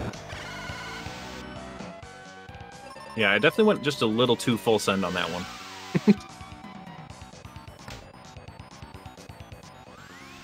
Nice. This is uh, inadvert- inadvertent doggo stream. Hello, Chesta. so, so that's what we're looking for is for um, for well, not looking for, but it works when it happens. Ben dies, Kaeli reses, and Ben gets his attack anyways. Uh oh. Oh no. Fortunately, fortunately, Ben's at full health, so he can heal as long as it doesn't crit. It doesn't, then he gets the petrify off, and then should be smooth sailing from. Oh, oh, maybe. Hearing Oh, this without being able to see it, I know exactly what's happening still. Get your down. Get your down. All right, so the developers wanted to spell something out in the trees. I think they were trying to spell "go on, kid," but they didn't put space, so it just says like "goon kid." I don't, I don't know. And the tree is moving underneath the clouds. You just can't see it because clouds. And so what it's doing is it's carrying ten to the other side of the forest that they just cleared out, and that's the the lore or something. And so now he's not quite done. He's not exiting out of the tree. He's got one more thing left to pick up. We're going to get our first wizard spell of the run, which is Meteor. Meteor is an incredibly long uh, animation, but it also does a ton of damage. Like it's going to two shot, or it's going to one shot a lot of stuff that, uh, well, it's going to open up a lot of one shots that we didn't have before, which is going to be really nice for the rest of the run until we get uh, Flare, which is going to one shot most of the stuff that Meteor can't. So we're going to be using a lot of that uh, from here on out. So I one of the, go ahead. Sorry, you're good. I always consider like at this point when you get meteor is when like the RNG just kicks it into overdrive for Okay. boss fights. All right, so we got Meteor. So he's going to seed on everyone. He's going to cure up, and then he's going to exit out. And we're going to go to uh, with the town, the town with the wind. Uh, oh yeah, Windia. Chicago, I think it's what it's called. All right, so first thing he's going to do is go in here and buy 31 cure potions. That's going to do something. Uh, that's part of the new route. D- does some inventory magic. Um, It, it yeah, it kind of helps reset uh, your inventory lineup to where everything was. So we talked to that's the old man with the sunglasses. His name is Otto. Oh, and let's see. So this um, this house that Ten's going in, he's gonna buy the locket, or he's gonna chop her in half with an axe and then buy the locket.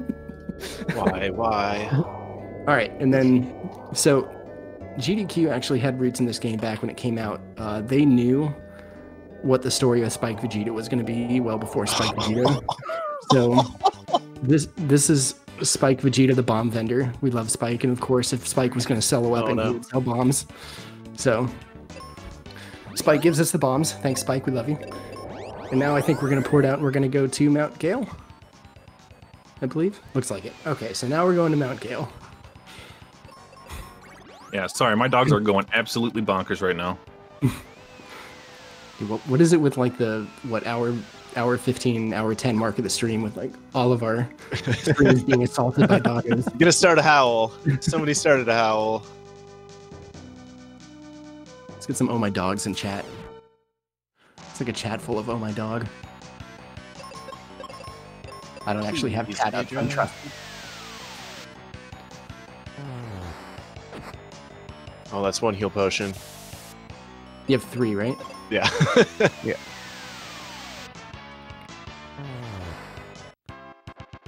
let's see so another thing is like you can see that pk's uh, let's see Kaeli is at just over half health but nothing is going to kill her at this point short of petrify which we can't control so we know we don't need a cure yet um this is called YOLOing. No, no we're yellowing Yep. it's going to be close i think Yeah, one that more oh That nice. okay good all right so pk's the tree now You, you missed Ben getting crit at 600. Ugh. it's been fun boss fight so far. Goon Kid. Goon Kid again. Goon Kid. So back in uh, back in Fireburg, when I was talking really quickly about what Ten and PK were doing when they bought the zero seeds and then used the zero seeds, what that does is it drops you to well, drops you quote unquote from zero seeds to 255 seeds. So we're probably going to use another 30, maybe 40 in the entire run. So effectively, you have infinite seeds, which means we have infinite spellcast, which is great considering uh, right before that I think was when we got exit, and then now we have um, we have meteor and we're going to have flare, and so uh, our secondary characters are going to have strong spells as well. And now we have infinite spellcast, so we are very. Th- this whole rest of the game is just glass cannon, and we just hope we're more cannon than glass.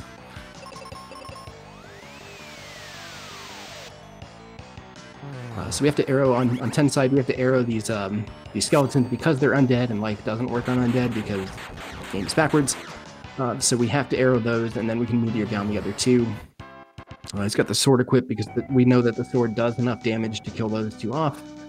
Um, whereas there are some fights where maybe we need the claw in order to do enough damage. Um, so he's opting for the sword to hopefully um, outspeed whatever everything. I know this is wrong, but I would like to just have my menu set for the boss fight, just in case you're curious, Colin. Okay.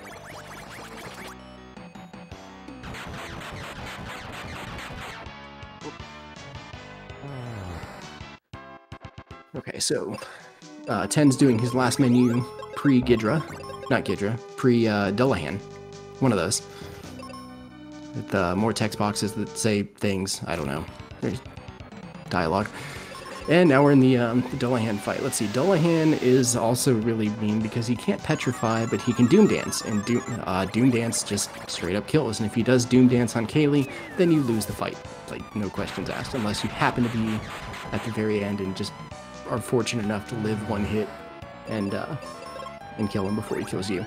This is this is somewhere where not having um, not having life is really punishing if things go wrong.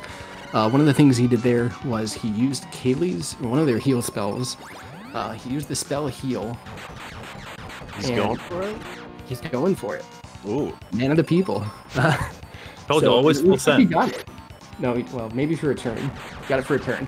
So what heal will do is it will put one of four or five um, status ailments, and you can get paralyzed, and you can paralyze a boss, and it's possible for that paralyzed to last the entire fight, to where uh, Dullahan just doesn't take any more turns, and you just throw meteors at him and green meatballs until he dies. Um, and you got him for one turn, which is which is still nice. Um, I think statistically it's not worth it at all. Also, you can miss because it's a white spell. uh, but it's like super swag when you get the, the paralyze and Dullahan just kind of stands there and gets meatball in the face. Plus, you get Oh, the wonderful animation too. It was on it was on uh, on Ben, so we're okay. Just res and keep going. Also, um, this is I I, I want to say the best spell name in the game. The uh, the AOE AOE attack is called Hedoomerang, which is which is great. That's one of the few text boxes I've taken the time to stop and read because Hedoomerang is is wonderful. That's a name. Is one of those abilities that, that they, they didn't rush through. They were they were rushing through the names of the cities so they could come up really take the time to come up with They spent they spent all that time trying to come up with the Doomerang that they just totally forgot they hadn't named any of the locations. I mean, this is the only game that I know of, of the Final Fantasy lore that has their main character called Benjamin. It's pretty straightforward. Yeah. doing some RNG manip by using the sky coins that shouldn't be in the inventory. All right, so now he's headed back to Windia. Uh, now he's going to go talk to Otto again, and Otto is going to unlock the first half of what is known in the lore as, I think, the Rainbow Bridge. Uh, and that Rainbow Bridge, it, you're going to be able to walk across it into Pazuzu's Tower. Pazuzu's Tower is by far the biggest source of RNG in this entire game. Here's how it works. He's going to walk into the tower. He's going to this is Otto's daughter. He's going to talk to Otto's daughter. He's going to fight his way up the staircase on the right. At the top of that staircase is going to be a giant bird called Pazuzu. Pazuzu is the very epitome of RPG jerk bird. Birds are jerks. Yes. Uh, from once you talk to him, he's going to disappear to one of five places: either floor one, floor two, floor four, floor five, or floor six. Uh, the way the tower works is you have to ascend all the way to the top, which is floor seven, and then you come down from there. Um, so ideally, you want floor six. You go up to seven, you come down to floor six. He's right there. You just fight him. You're done. As soon as you fight him, you leave. Um, from there, I think floor one is the second fastest. It's very close to floor five. Um, it depends on how many fights, because there are some fights you have to take getting up to floor five. Uh, so like five and one are tied for second place, then floor four, and then floor two. If you get floor two, if Pazuzu's on floor two, it adds 12 minutes over a floor six. Not sure the exact numbers because I don't ever practice floor two because if I don't get floor six, I reset. Uh, but it adds a bunch of time, and it just you, you just lose time, and there's nothing you can do. So we're hoping for floor six, Please no. or we're hoping for floor two because more Mystic Quest and just more. Yeah. You did miss the step where you uh, end up crying a lot. yeah. Oh, yeah. Try not to cry. Start crying. And this is, and if I'm correct, this is one of the things in Final Fantasy that since people started speedrunning, they've been researching and researching and researching how to maintain a 4-6. Correct? I've I've done some of that, and there's so basically the way, the easiest way to describe the way that the floor is selected because it is selected by RNG values of zero to 255. Is there are eight tables, and each of those tables has 255 places, and so you. Even if there's a way to control which table you get to sit at, each of those places at the table changes once every frame. Also insane crit by the way.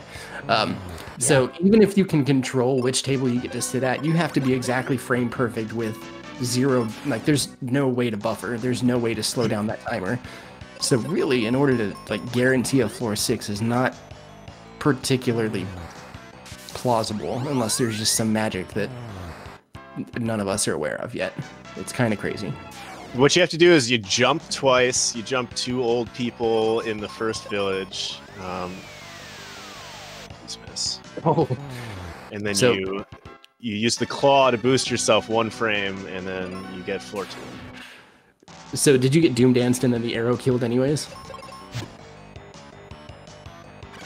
It, it looked like it. So PK, so PK got uh, the Doom Dance on Kaeli, which fortunately can miss, and it did. Yeah. Uh, but also, fortunately, it looked like the uh, the follow up immediate like spell killed. I was on defend. He was he was one away. Um, Okay, nice. nice. Maybe no, the double was he was he would have needed to do that a turn prior to absolutely tank that.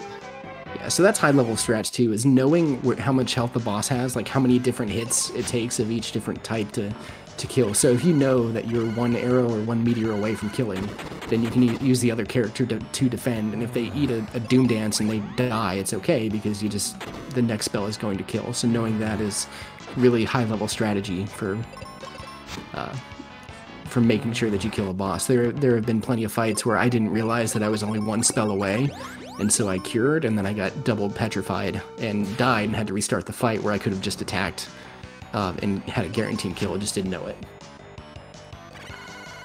Are we missing with axes again? Yep, we're missing with axes again.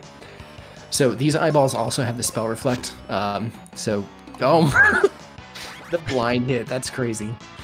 I, I feel like hitting with blind is so hit difficult. Like probably 20% hit rate or something at that point. It's really low. Um, Always full send.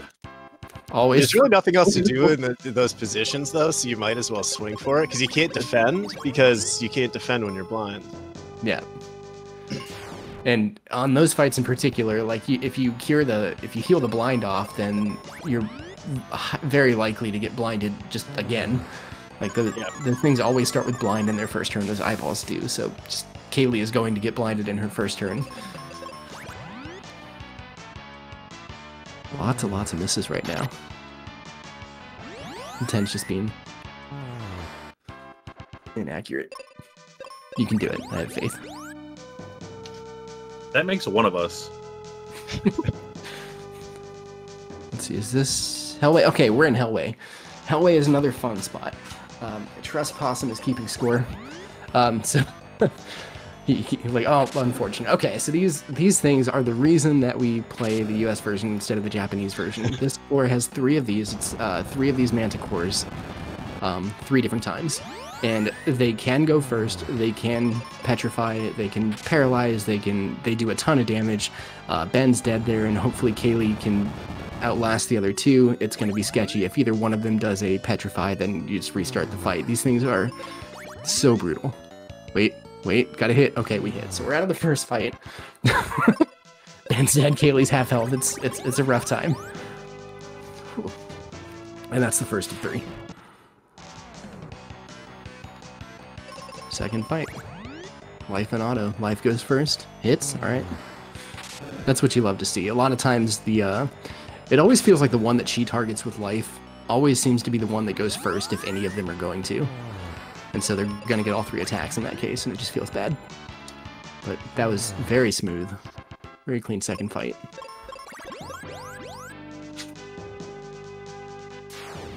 And Yeah, and typically enemy enemies in there you can use arrow on if you want to be more accurate, but not the chimeras.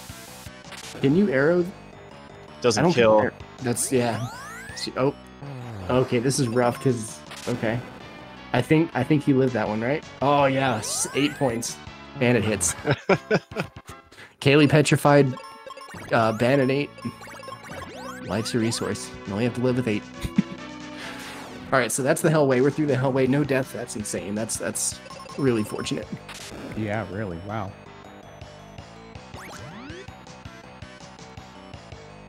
Okay, so these mages that uh, the Ten's fighting, these are the ones that have the Quake spell, which I don't know if it's actually. Um, well, maybe we'll see it. Are we gonna see it? Yo, we see it. Ten's dead. it's a one shot. So I think the. I don't know if the actual thing, but it does way more damage than any of the other Quakes in the game, and it's it's said that it's like written as like a meteor spell, or like balanced as a meteor spell. Oh. Bork. Uh, so yeah, it does a ton of damage, and that's like the only place in the entire game now where damage is actually a concern, because it will actually do half of uh, Ben's, like right around maybe a little more than half of Ben's health. So that's something that has to be paid attention to. But other than that, it's just status effects, status Yeah. elements. I mean, the wizards have other spells. They just choose not to use them a majority of the time. they have other things they could be doing.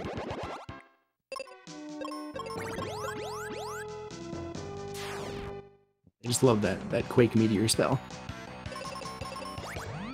I'm not sure if it's been noticed yet, but you may you may have seen that sometimes. Some of like as you progress throughout the game, some of the enemies uh, that you see on the map are actually just like reskins of bosses.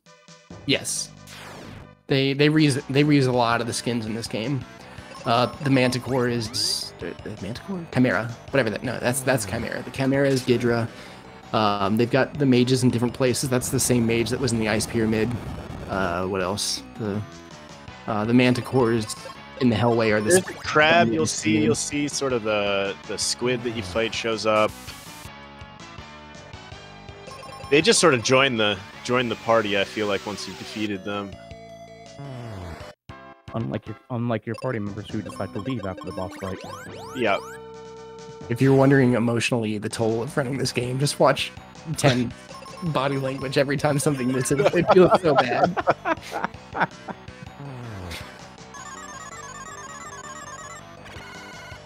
Can we YOLO this last fight? Nope. Let's do it. It's okay.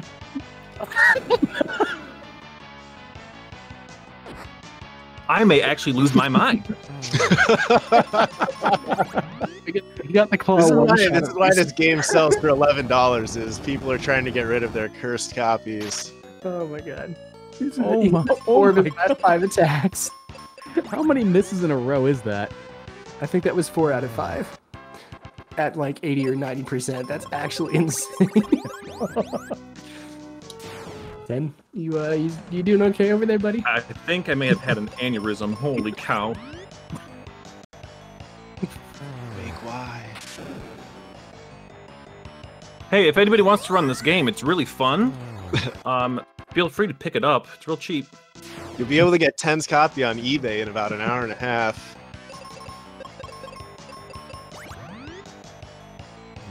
Okay. So going back to the claw, we said there were a couple places where we're gonna try and try and get the one shot, and he just got it there. Um, since they spell reflect that, they'll they'll spell reflect AOE as well. Uh, so you got to you have to do physical attacks, and uh, the best thing to do is hope for a petrify. And he's actually gotten it twice. Unfortunately, the first time was in between four out of five misses. That was the one hit. Well, there are a lot of different formations as you get towards this Zuzu fight, particularly on this this one floor. you hope not to have to ever face these eyeballs. Yeah, there's a, ch- a chance for the eyeballs not to be there, and uh, you're just sad when they are because there's a chance in every fight for them not to be there, and every time they are, you have to like plan. You specifically have to plan around them because you can't just cast spells in their face.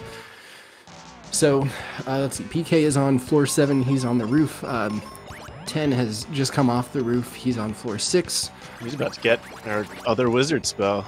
He's about to get the other wizard spell, the granddaddy of the wizard spell. He's about to get flare if he stops missing ever. We're also about to find out what uh what type of floor he's gonna get. Exactly. Oh, and the mage cured it. oh no.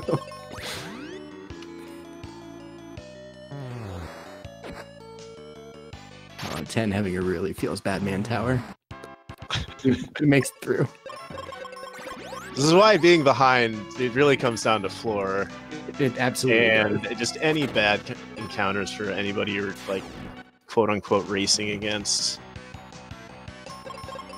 So Flare pretty much has the potential to one-shot anything, any set of two for the rest of the game, and some sets of three. It's an incredibly powerful spell, and we're gonna take as much advantage of that as we can uh, throughout the last 45 minutes or so of the run. Uh, unfortunately, we can't use it here because the eye. Like this is why we really hope that we don't run into eyes, is because we want to be able to use our s- stupidly powerful magic attacks, and we just can't. Not here. Right, so blind, so probably switches to arrow here. Yep, and does because um, blind affects the life spell. It's the same way it would physical attacks, but arrow will never ever miss. So he switches to that and gets through it. Nice job. All right, here we go. Floor six. Do we get the floor six? The moment of truce, everybody. Or do we continue to Oh, oh. feels bad, man? Oh, no feet. No. No feet. You always want to see the feet in the elevator. All right, so now, uh, so that thing, that little switch that he hit, um, basically puts a block in the elevator. So now Pazuzu can't, like, if he was on floor six, he couldn't move. Uh, he would be stuck there on floor six. If you, like, if he goes to directly to floor five right now, and, and Pazuzu's there, and he talks to him without hitting the switch on floor four, then Pazuzu just teleports to a different part of the tower. And if you're doing a casual run through of this game, that's that's something that you have to look out for. Is you have to hit the switches between the floor where he is and the floors that he can go to. So if he's on floor three, you have to, or floor two, you have to hit the floor four and floor two switches, so he just can't teleport around. Otherwise, you're just chasing him all over the tower, and it's super frustrating. Yeah, the floor six switch is typically if you're going for a PB, you're now right around an hour and a half into the game, and you hit that switch, you don't see feet. That's when you just reset and either start over or, you know, cry in a corner for a while. So 10 went down the stairs, doesn't have a floor 5 either. So what he's going to do is he's going to fight his way around this uh, this little walkway. And he's going to work his way to a staircase that's across over there. He's going to go down to floor 4. If he, let's see. And we'll see from there. Right now, it's just a matter of find the bird. As PK picks up his flare. One bomb to spare, by the way. So close to running them out. I'll Which actually- out. If you have zero, it's actually faster to uh, to bomb walls and such because you can still use the bombs on the overworld if you have zero, and it will do the animation and it will blow up the walls and blow up the uh, little whatever you can blow it up with, and blow up with it. Um, but it doesn't actually do the bomb animation.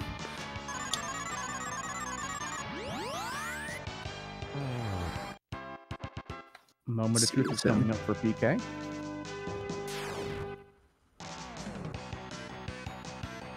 Flare on the double mage. So the triple mage there isn't as bad. Kaeli kills off one, and then and then Ben gets to flare the other two. All right, let's see. Feet, feet. No Yo, there's no feet. I just wanted to see Ten's face when he heard the yo. That's that's why I did that. Love you, buddy. I mean, as far as sporting sporting goes, if if one of us gets floor six, I would have hoped the other one did. But I also, if neither of us get floor six, feels more sporting as well. All right, so uh, Ten doesn't have floor four either, so that means that he either has the second fastest floor or the Big Sag floor. And we're gonna find out. Probably like two minutes.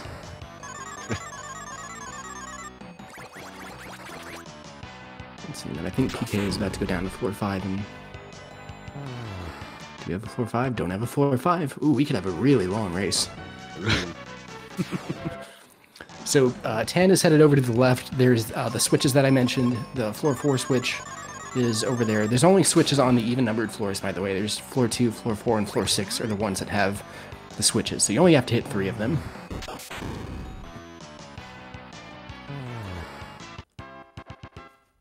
So normally, I, like if you're going for a good time, even the second the second best floor, like if you get a floor one or a floor five, you still lose five minutes over getting a floor six.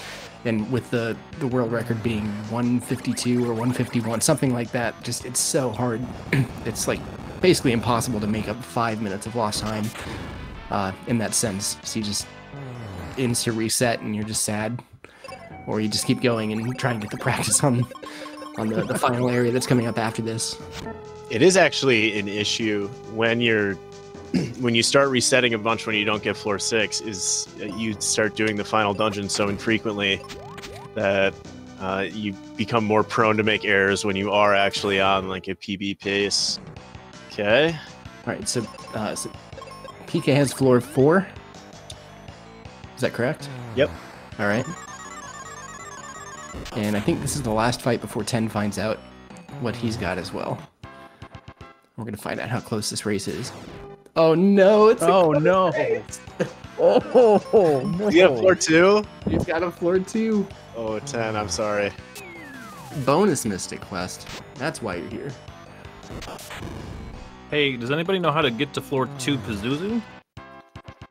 You you can do like I do when I'm testing stuff, and there's a skip where you can like jump. It's uh, it's on the same floor as the switch.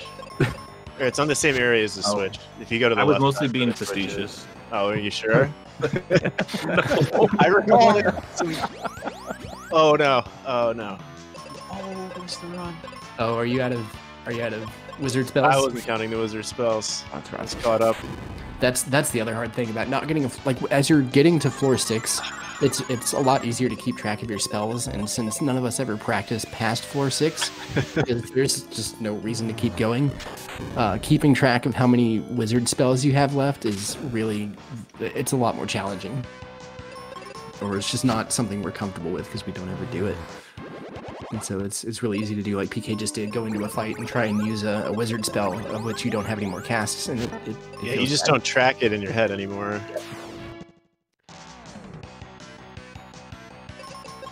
The other thing about the floor too is you get a whole bunch of these fights like uh, like Ten has like these uh, Sphinx Thanatos eyeball fights are guaranteed in a lot of spots, and it's just brutal fights.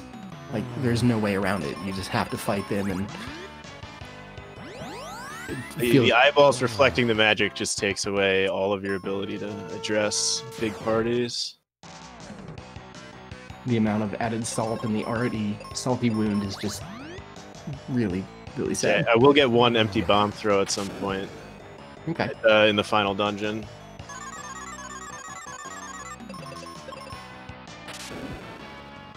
So, so it looked like 10 defended Ben with Kaeli there, so she takes all the hits. And also she takes a lot of reduced damage as well, and then Ben flares them in the face. Uh, PK on his last fight prior to Pazuzu. Then you'll see why this is so slow. Guess where we gotta go? All the way back. All the way back where we came from. Because you don't fight him here. I mean, I can catch you. I'm in the act of catching you, Pazuzu. Oh, I actually forgot the floor 4 moves too. I knew floor, floor 2 did. Um, so I guess you can only fight him on even floors or floor 6 then? No, you fight him on. He goes up to five from four. He goes to three from two. Yeah, one. Yeah. Five, five is an odd number. I, I, I, I okay. So I, I, I just have uh, a quick question. Instead of maybe trying to fight the Pazuzu, have we tried throwing a Pokeball at it? I haven't Hey, no. personally, Okay, okay. but I've, I, I, I, I tried to make a joke there. It, it's fine. if we could manip some sort of master ball, I would be more than more than happy to try to catch Pazuzu on four four. So as you can see, you have to walk all the way back to before. Yeah, so you have to walk all the way back around, and that's the only way to get to floor five is going back up to six, back up to seven, back around seven, back down the stairwell to five, and now he's got four more fights before he can actually fight Pazuzu. And then 10 has to clear the way to Pazuzu on floor two, which is just a whole other hellway of its own.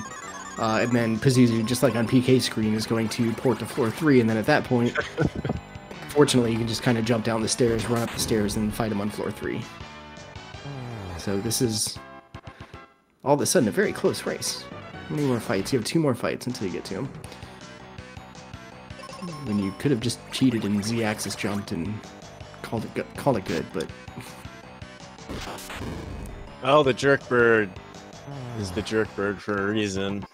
Yep. oh yeah, welcome to SNES by the way. This is I think PK's first. I think he said it was his first full run through on the SNES console. So uh, Oh, this is Ten's run. Yeah, that Uh, would that'd be my first run. or I said PK, yeah, 10's first run on the, the console. All right, Mr. Bird. Show me what you got. At least it's all uphill from here, or downhill, good hill, good direction. It's all I better mean, from it, here. it depends depends on the fight, you know. Okay, so Pazuzu. Here's the. This is one of the more intricate fights of the entire run. Uh, Pazuzu has, I think, 22,000 health, and he's got um, a cycle. He's got a pattern where after the first five turns, he's going to do something called sight Oh, shield. that's it. Oh, well, okay, we're, Oh we're going to no! die. Maybe? Is this two and That's five? got to be it. Yeah, Nope, that's got to be it. So, uh, on his Good fifth turn. Uh, he's going to do something called Psych Shield, which gives him spell reflection for the rest of that turn and the next one. Uh, and then he's going to do that again every three turns afterwards. So that's the pattern that we're looking for. We know when we can cast spells, when we can't cast spells. Um, and he also has, as you saw, he's got Petrify uh, ability. He does a ton of damage. Uh, he loves to outspeed Kaeli, so it's really, it's just really hard. It's a real mix-up, There's just so much that can go wrong in this. and you can crit like that. You can crit, and then if Kaeli's on auto, she's gonna heal PK. Okay, well PK's at full health here, so maybe okay. Uh, we had the psych shield round, so that was fine. Okay, I mean, not fine, but better than not dead. dying. Yeah. No! How do you outspeed again? No. Oh, that's it. Oh, oh. That's death number two. Birds are jerks.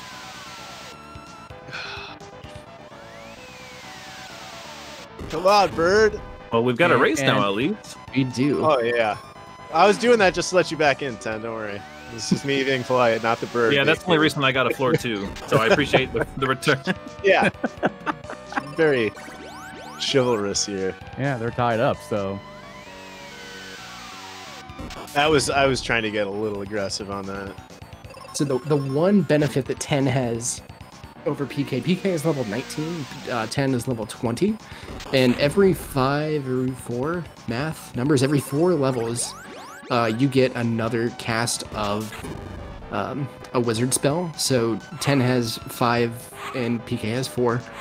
Uh, so for that first five uh, or cycle of, of five turns before Pazuzu does his uh, his spell reflect, 10 can fit in another flare that he has uh, the option of, whereas PK would have to switch to arrow.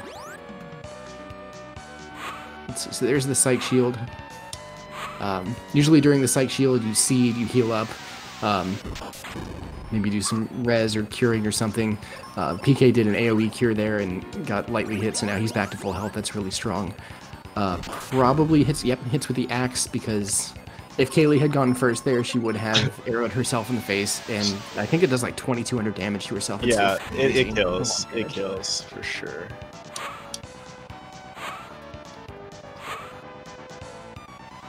He only outspeeds when it benefits him. And has a very angry looking Pazuzu. I think something with the colors is making the eyes even more red or pink than normal, and it's like actually kind of terrifying.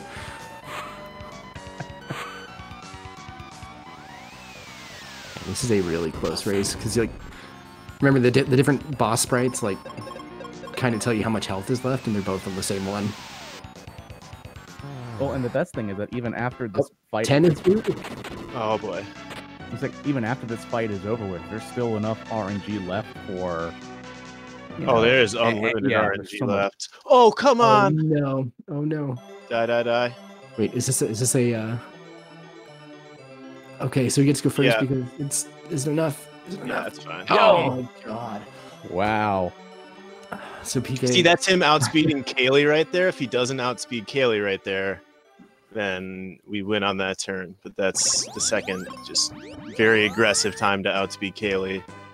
So the the benefit of those psych shield turns is that you always get both of your characters to attack first, and so that was that third round in each cycle of three where uh, Pazuzu was going to psych shield. Where so he absolutely outspeeds Benjamin, but because he was doing the psych shield, Ben gets to go first. He got that last arrow off to get the kill. Yeah, it was safer than it looked, but it should have just ended on the previous turn. Yeah, that was Pazuzu trying to work his uh his last turn magic and just ruin everything. All right, so here they're going to buy zero cure potions, but they're not going to use them yet. Uh, they're going to talk to Otto again, and that's going to put Reuben in the party, and they're supposed to go, I don't know, somewhere in the plot and go get the Thunder Rock. Um, but we're just going to use those zero cure potions, and if you watch the inventory, it's going to add some stuff to it. Um, wait, is that after the? Maybe we go blow. No, we zero here. Okay. And if you Zero do, here, then we go up. yeah, if you if you zero before Reuben joined your party, you lock the game. Yeah. Yeah. Which I have done in a marathon before. And there's no saving it. I was glad that I was on an emulator and I had another file that I could load. I uh, yeah, I killed a marathon run before. It was a it was a bad time. Kind of speaking about the saving real fast uh, with this game because they kind of market it as an intro to RPGs. There's no save points. You can save anywhere you want to. Yep, Yep, and you restart all boss fights. You you restart any fight that you lose. So there's it's really an incredibly safe run as far as being able to get through it once you know you know what you're doing. The only way you can mess it up is if you have the option to restart a fight and you say no, because then it will take you to the load game screen, and that's when you get real sad. I Actually, it's when you say yes, technically, because it asks, "Do you give up?" Oh. that's actually true. Which is why I've accidentally done it wrong once or twice because you assume that they're asking you to continue, not "Do you give up?" You, you just don't want to move the cursor when it gets to that. I don't know which one is which, but it's actually unfortunately it's been long enough that since I've done that that I don't remember which text box it is. So that's good. Feels good. How close are we right now? Uh, he just got through the fight that you're going into. Wow. So really close. Yep.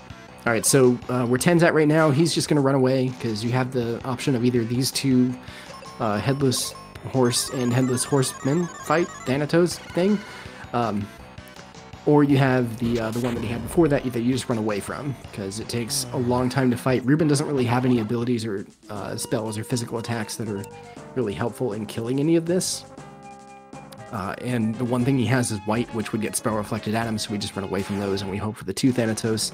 Um, and we defend and flare or defend in white or something. And Reuben just got dunked on, but that's okay because Ben's throwing flares and it's fine. Also, one thing to notice is um, at the end of every fight, your dead characters will come back to life with one health. So depending on where you are and uh, knowing whether or not, like you, may not necessarily need to res them, uh, you can or heal them. You can just leave them at one health and and just go, and it looks super swag, like going into a fight with one health, but it's not actually. It's it's calculated. Yeah, because all of these Reuben is defending, unless Reuben gets, you know, instant death. Uh, ben really is not in any danger, regardless of his health level. So, you know, you, you don't technically need to heal for a lot of these. Yeah, basically, Reuben's whole job here is to, to tank for for Ben. Just eat all the attacks, eat all the statuses, eat the uh, the doom dance that we have. meat and- sandwich.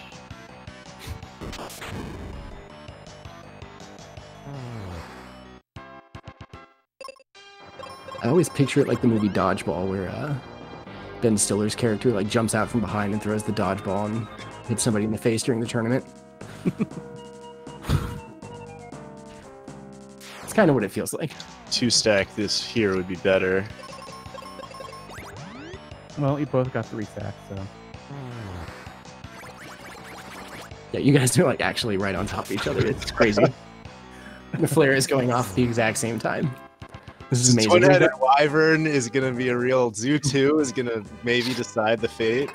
that's what I'm. Yeah, We'll let the gods decide our fate. So way earlier, when I mentioned uh, that Kaeli's dad was a founding father of Mystic Questland, this is I was setting up for the joke an hour and forty five minutes later. that was that was Kaeli's father. We save him off the ship, uh, and then he lets us use his ship to go to the part of the focus tower that's supposed to be inaccessible. Uh, that's why we filled the planet with water by throwing the bomb and just plot. Um, and we're gonna take the ship and we're gonna go in the game. Well, speaking of which, I'll point out something that I, I definitely have never done in the middle of a speed run we're on the ship. This is uh, this is also the point in the game where you make your save files, because it is Phoebe who is very well kitted out, who is defenses we use for all of the game on our secondary character. Yeah, so if you at this point make a save file and then reset your game and start a new file, you'll have all of the resistances of this BB that they have in the party right now and all of the stats of this BB with all of your secondary characters at the entire run. And now I think they're headed to the ship to uh, go to the bottom part of the focus tower. Leave. Yep. Time to Which steal. It's like a it's like a boss rush, but it's like a, it's it's more of a it's a zone rush. Like they're gonna start out in the uh, the bone dungeon portion, and that's gonna lead into an ice portion, into a fire portion, into a uh, a Pazuzu's tower portion. Um, yeah, And if you mash A uh, impatiently at the end of that ship animation, you can accidentally take the ship all the way back from where you came from, and then you have to take it all the way back again. So I've never done that. I've just people have told me that that's what happens. I've actually never done that. I didn't know that was a thing.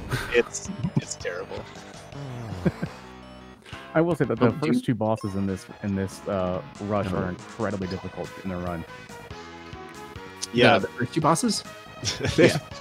Yeah, arguably as as hard as that mummy on the bridge. So Phoebe, Phoebe, and Ben in this general area have just no definition. Like, there's no turn order anymore. It's all made up and random. Sometimes Phoebe goes really fast. Sometimes Ben goes really fast. Sometimes the enemies go really fast. And here's the uh, here's the bomb throw. See it? You missed it. The little dragon skull just disappeared. Uh, let's see. So I think ten just was that life on the dragon. Is that right? Yeah. So you can uh, another place where you can just cast life on the boss and it just one shots it all ten thousand health. Uh, PK does the same, and then the flare from Ben is going to be enough to kill off the other. Wait, did he? Oh, did he um self destruct? Is that what that was? yeah. Yeah, the ninjas can self-destruct themselves into you and do a bunch of damage and die. It just takes a little bit longer because it's an extra death animation. I don't really Um, need any help self-destructing. So that was the last coin door of the of the run. And so this is the uh, let's see, that was the bone dungeon portion. This is the ice pyramid portion. Uh, the same statues to stab in the face. It's so easy to accidentally go a wrong way and uh, and run into a, a door that you haven't opened. Uh, definitely have more than once um, like killed this fight where 10 is at and forget to stab the switch and so you just don't open the door and then you're sad because it, it's like a 30 second time loss. It just takes like a half second to just go boop. And if, Just you, get- if if you're like me, you just sit down and are like, wait, why is where did I miss? and Then you have to go through this whole area again. exactly. That's that's also a good point. Like you never know which door you missed or which statue you missed. You just know you missed one. You have to go try them all and then just the other day i was doing a run to uh, with uh, with 10 and pk in stream just to remember how this all works. And after the very first statue 10 was like hey buddy where are you going? And i was like probably the wrong way. If, if you're at this part of the dungeon, because this means you've gotten floor six and a floor six on a run where you're going fast enough to potentially PB, so you are, your mind is racing towards much more difficult parts than this. So, uh, you know, getting through the fight is what you focus on, and then just not hitting the switch. I've done it all sorts of times. I've absolutely put more practice into this place than any other part of the game, and it just doesn't matter. it just it, it goes it goes away if you don't keep up with it. Now you have me worried I'm missing a switch. It don't miss a switch. Thanks. Uh, I got you. Unless you missed a switch, and then I don't know which one, so I don't got you. Uh, that's the one that we can skip. Is the one 10's running by? Because we just kind of zip around it, so it's fine. Tried to bomb the switch. That doesn't work.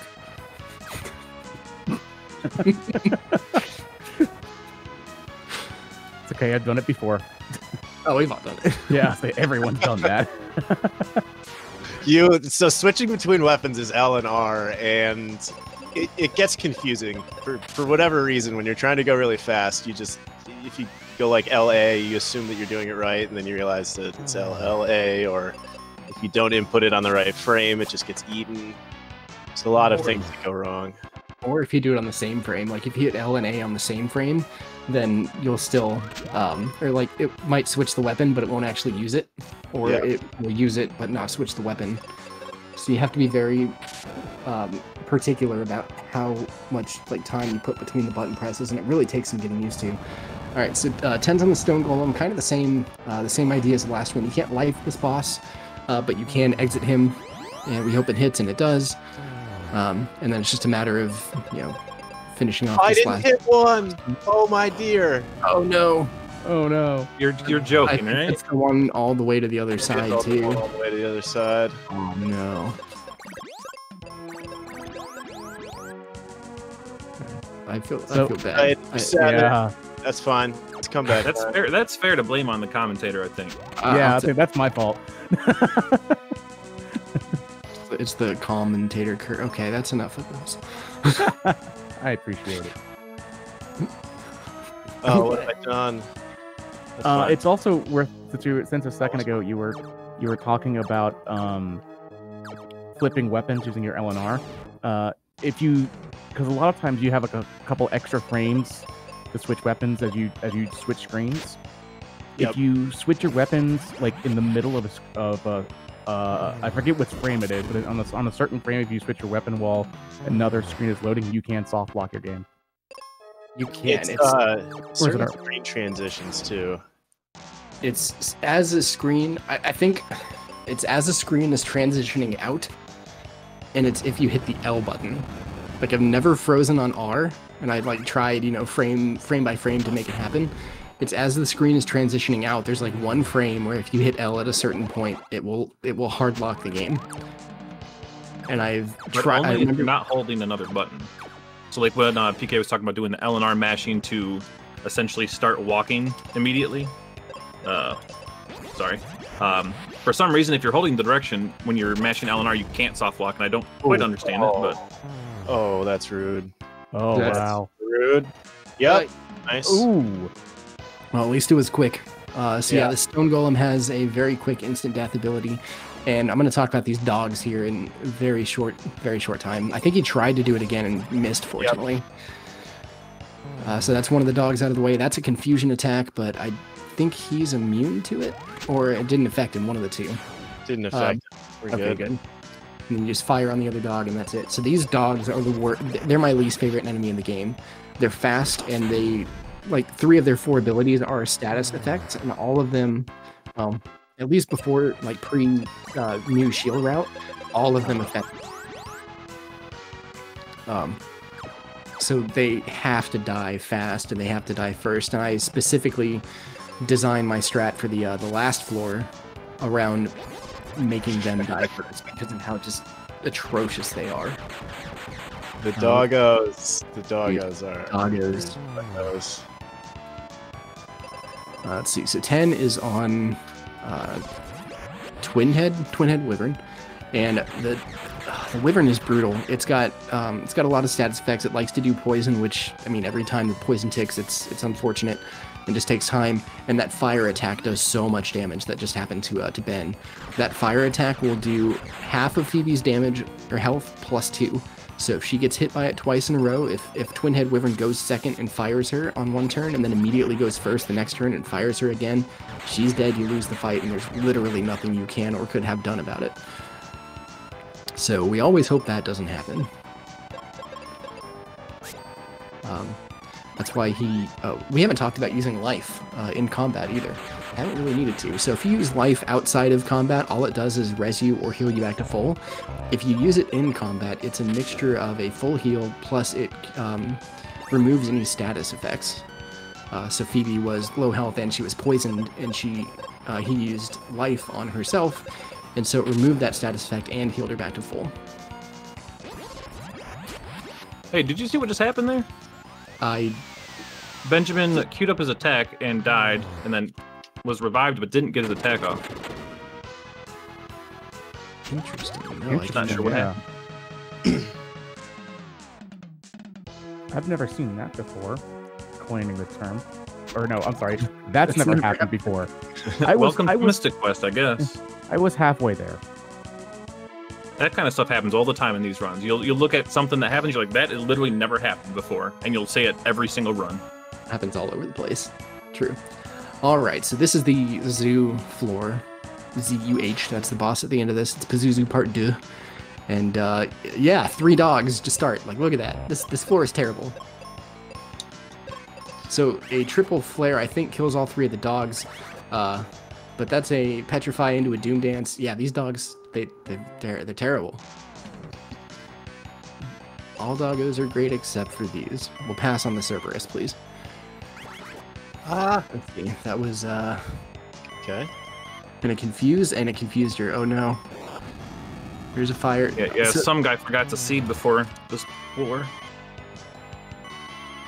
Okay, that's physical. We're okay. We're okay. White will kill them both, and he gets it. All right.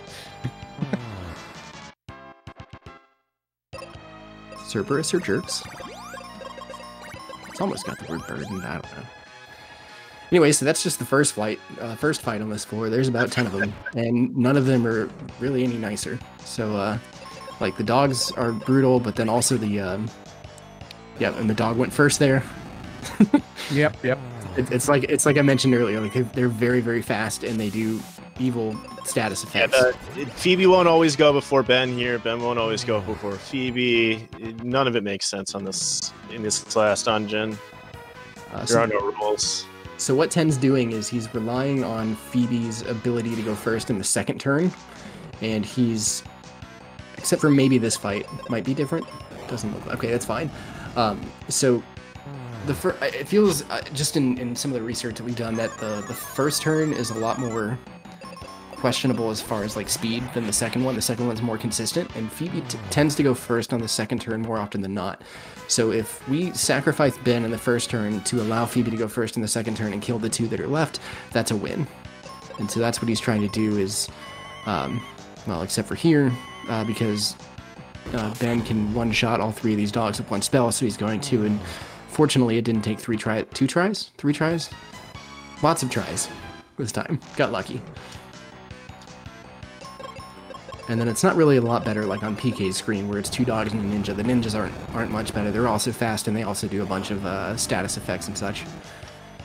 Let's see. So uh, ten gets the uh, the fire and the dog there. It's Uh, Com eats the, both the status effects, eats the tornado, and Phoebe does the white, which kills both of them. That's that's the whole point of that strat is for uh, for uh, for Ben to be a tank.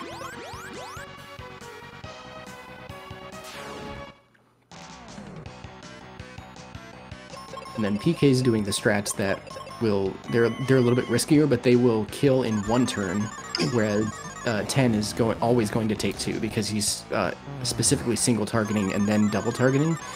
Um, and I think let's see, I think most of the fights, if not all the fights, PK is going to kill them in one turn. This might Uh, be the exception, I mean they just both have to be alive, but right? two two casts of any of my two spells should kill. PK opens himself up to RNG in Mystic Quest, which is Well, I got a YOLO since I opened myself up to not opening a door. That's true. And hey, it's like it's working out. Like if it at the top end, uh, PK strats are a little bit are quicker. Um, it's just it never feels like it goes right. It never does go right, but this is this is the floor I lost 90 seconds on my even still placing third place. Yeah. Let's see. All because got- of the boss. the, the the boss is terrible. The floor itself is actually just as bad. Like this whole Yeah, floor is just atrocious. Like this is very much this this entire floor is the last boss of the game. Please no. Oh no, that's sad. Okay, that's fine. Just to go all the way back to the beginning of the fight. All one turn ago. Oh no, another petrify. Please miss. Oh. Um, Oh, nope, it's not gonna miss. oh. So the other thing to mention about AoE attacks on your party, um, since Phoebe was petrified there, she couldn't take the her share of the damage from that AoE attack. Go, dog. So Ben takes all of it. Uh, so if, if you get AoE, at- if, if you take an AoE attack and you only have one person alive or able to take the damage, that person will take both shares of the AoE damage.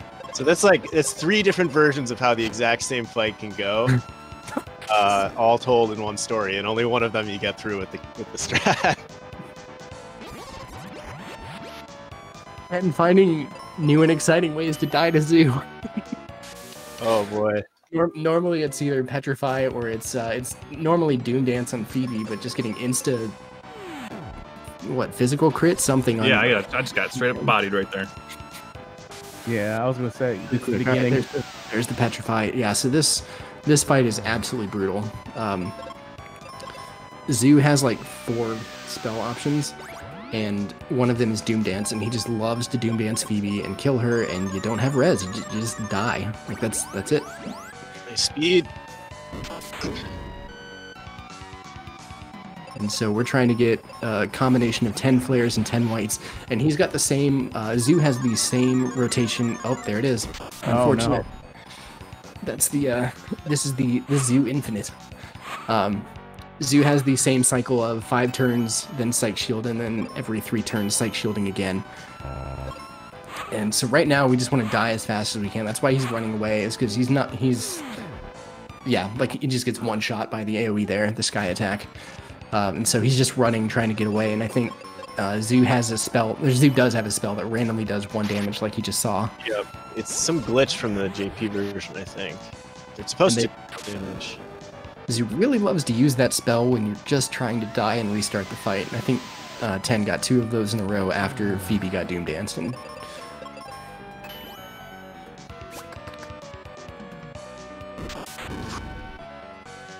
Come on. Don't heal. No heal. Why heal? Come on. What did I just say about healing? God, this is brutal. Oh no, the Doom Dance. Oh no! Oh my no! I am well known for dying multiple multiple times.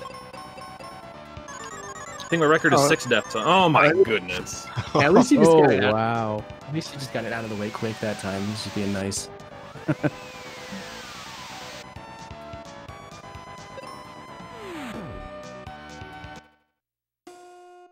Eight times a charm. Up, there we go. I'm back in it. Oh, all Wait. right. No, no. Matching Doom dances. Ugh. Wasn't even the spell I wanted to start with. No, don't. Come on. Yeah, so PK in the same boat. He's just trying to run away. Sure, so literally, uh, as can, so he can start the fight over. Thank Doom you. dance. There it is.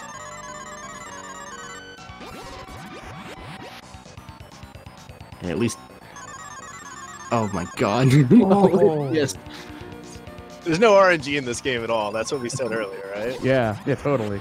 So Doom Dance can miss, it just doesn't. this is all. This is all manipulation for the final boss. That's that's what it. You know.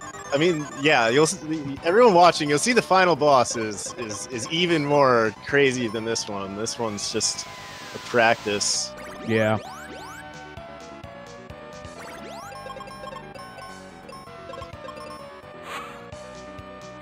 Let's go for it.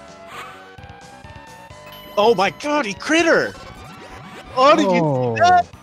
Oh, Was that a physical crit? that was a physical crit Oh. for full health. More than full health.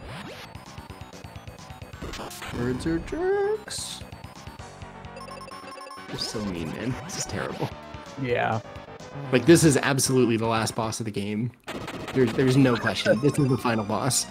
And then we go to the glorified cutscene, very much Final Fantasy VII esque, of the Dark King, who, to be fair, is um, very challenging in um, Oh boy. like in a casual run. He's a ton of health. He's just difficult. Does a ton of damage. All the status effects. He's really rude. But um, we have the math. We're going to cure him to death. Uh, basically, I believe the way it, I don't know exactly how it works, but it just works. What happens is you cure him, and then the amount that you cure him is more than either the amount of health that he has or the like highest number that the game can register. So then it ticks over into actually doing damage instead.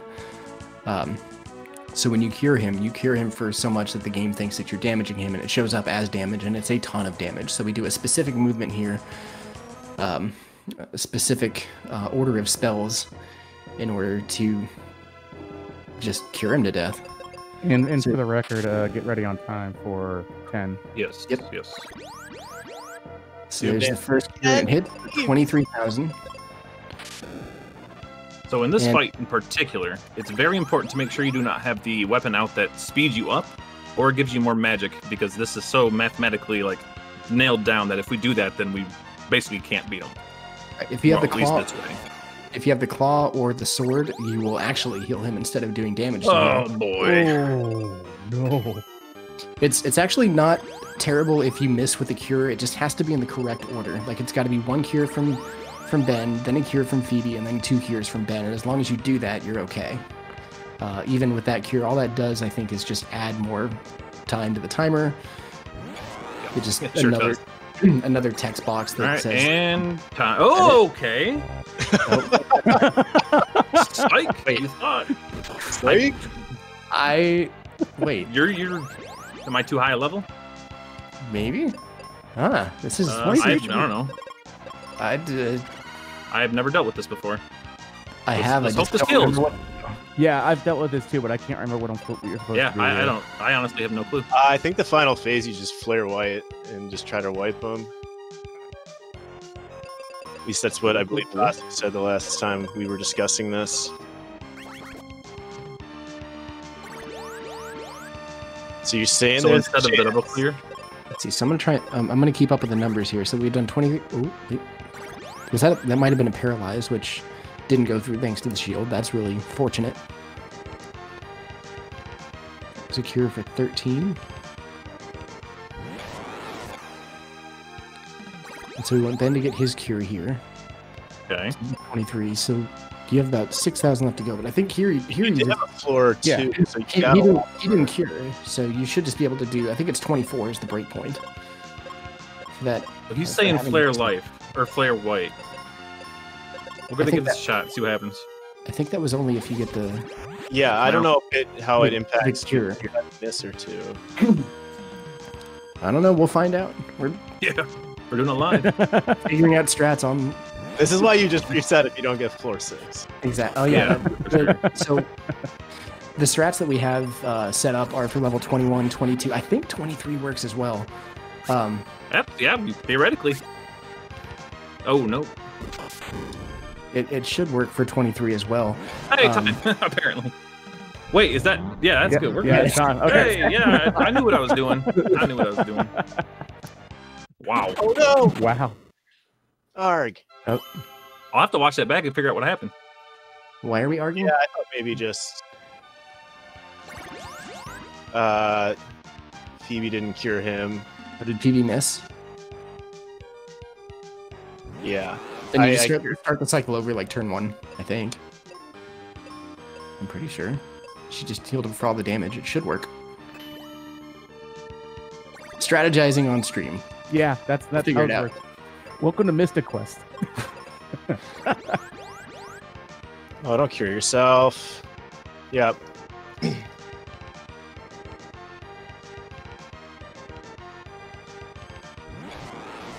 This might be uh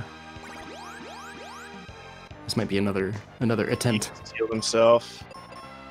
Let's see, 10 slowly working towards the best song in the game. Which he's gonna stop at, right? Oh yeah. Obviously. Let's see.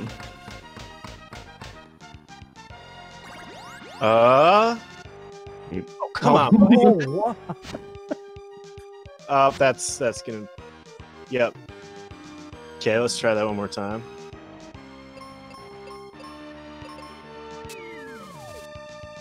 Ow. That's Ouch. pretty standard and always is, feels bad because now she's if she dies here, which she will. Damn, that's rough. Oh man. Is this another reset on this? Oh my I think so. Yeah, gotta be. Yeah. that that is actually like the only way. I've had him heal himself, which tanks. It just slows it down. All right. Phoebe, di- Phoebe, di- No. Phoebe dying is the only way that that really For what it's worth, ruined Ron. Or for what it's worth. I tell everyone when it, when you have a Mystic Quest race, the RNG is basically up until the last hit. I didn't Yeah. expect that to be literal. Oh yeah. Yeah, oh. that was as accurate as it gets. Well, I have my third place now. I'm never playing this game again. Get outta here. I'm gonna go play Tetris.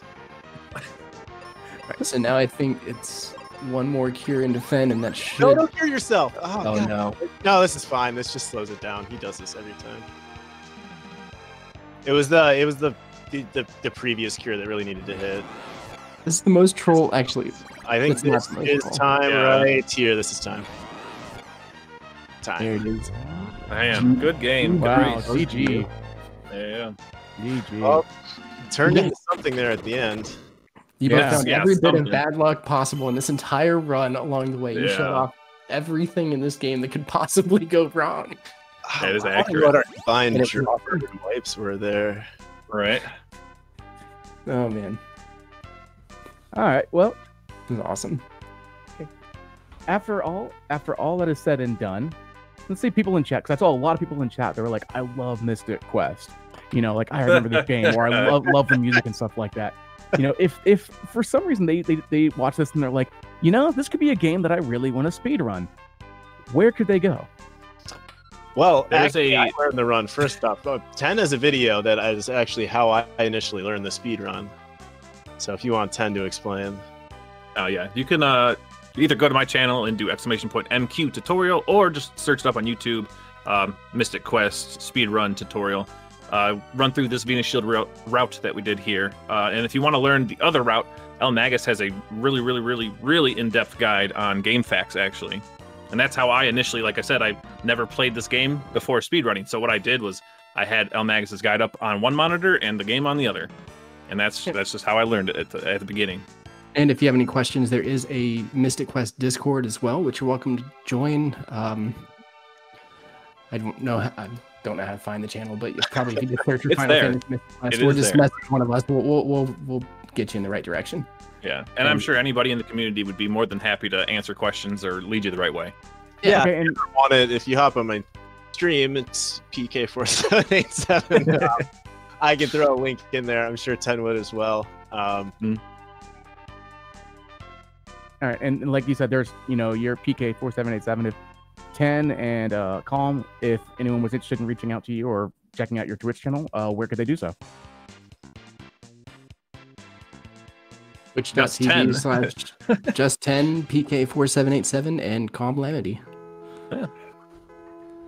Some of us Oh, stream the game. Some of us, try, like myself, try very hard not to stream the game. But I love talking about the game, and I will absolutely answer any questions that you have Mhm. regarding it, even if I just don't ever want to play it. last time.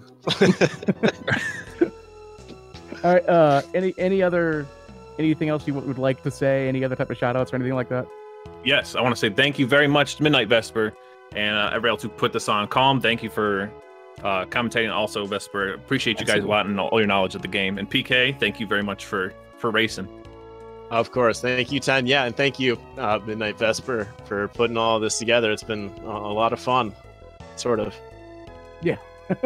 thank you, thank you all for running that. You know th- that run. Uh, it was it was incredibly entertaining. That's one of the reasons Well, uh, why I love I love My- Mystic Quest runs. Honestly, for that reason. I'm glad you felt that way. Holy yeah, cow. it's incredibly entertaining. Anyways, uh, it, information on all of our hotfix shows are going to be available at gamesdonequick.com slash hotfix.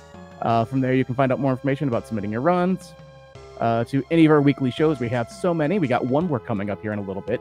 And tomorrow, by the way, we have the first step with Keys and, or I'm sorry, yeah, Keys and J Hobbs. I was about to say Keys and Fees. Hmm, I wonder why. They're going to be doing Torchlight 3 starting at 7 p.m. Eastern. But don't forget, we're not done for tonight. While the bargain bin may be closing its doors, we're going to open up the spoopy doors for speedruns from the crypt. I tried that transition. I don't think it worked. I, it's not scripted out, but anyways. we're going to take a small break while we go ahead and switch the shows. This is a great time to go ahead and get some water, hydrate, stretch, uh, do anything that you can in between that break to get things right for spoopy season and speedruns from the crypt. Thank you all so much. We'll see you guys later. Take care.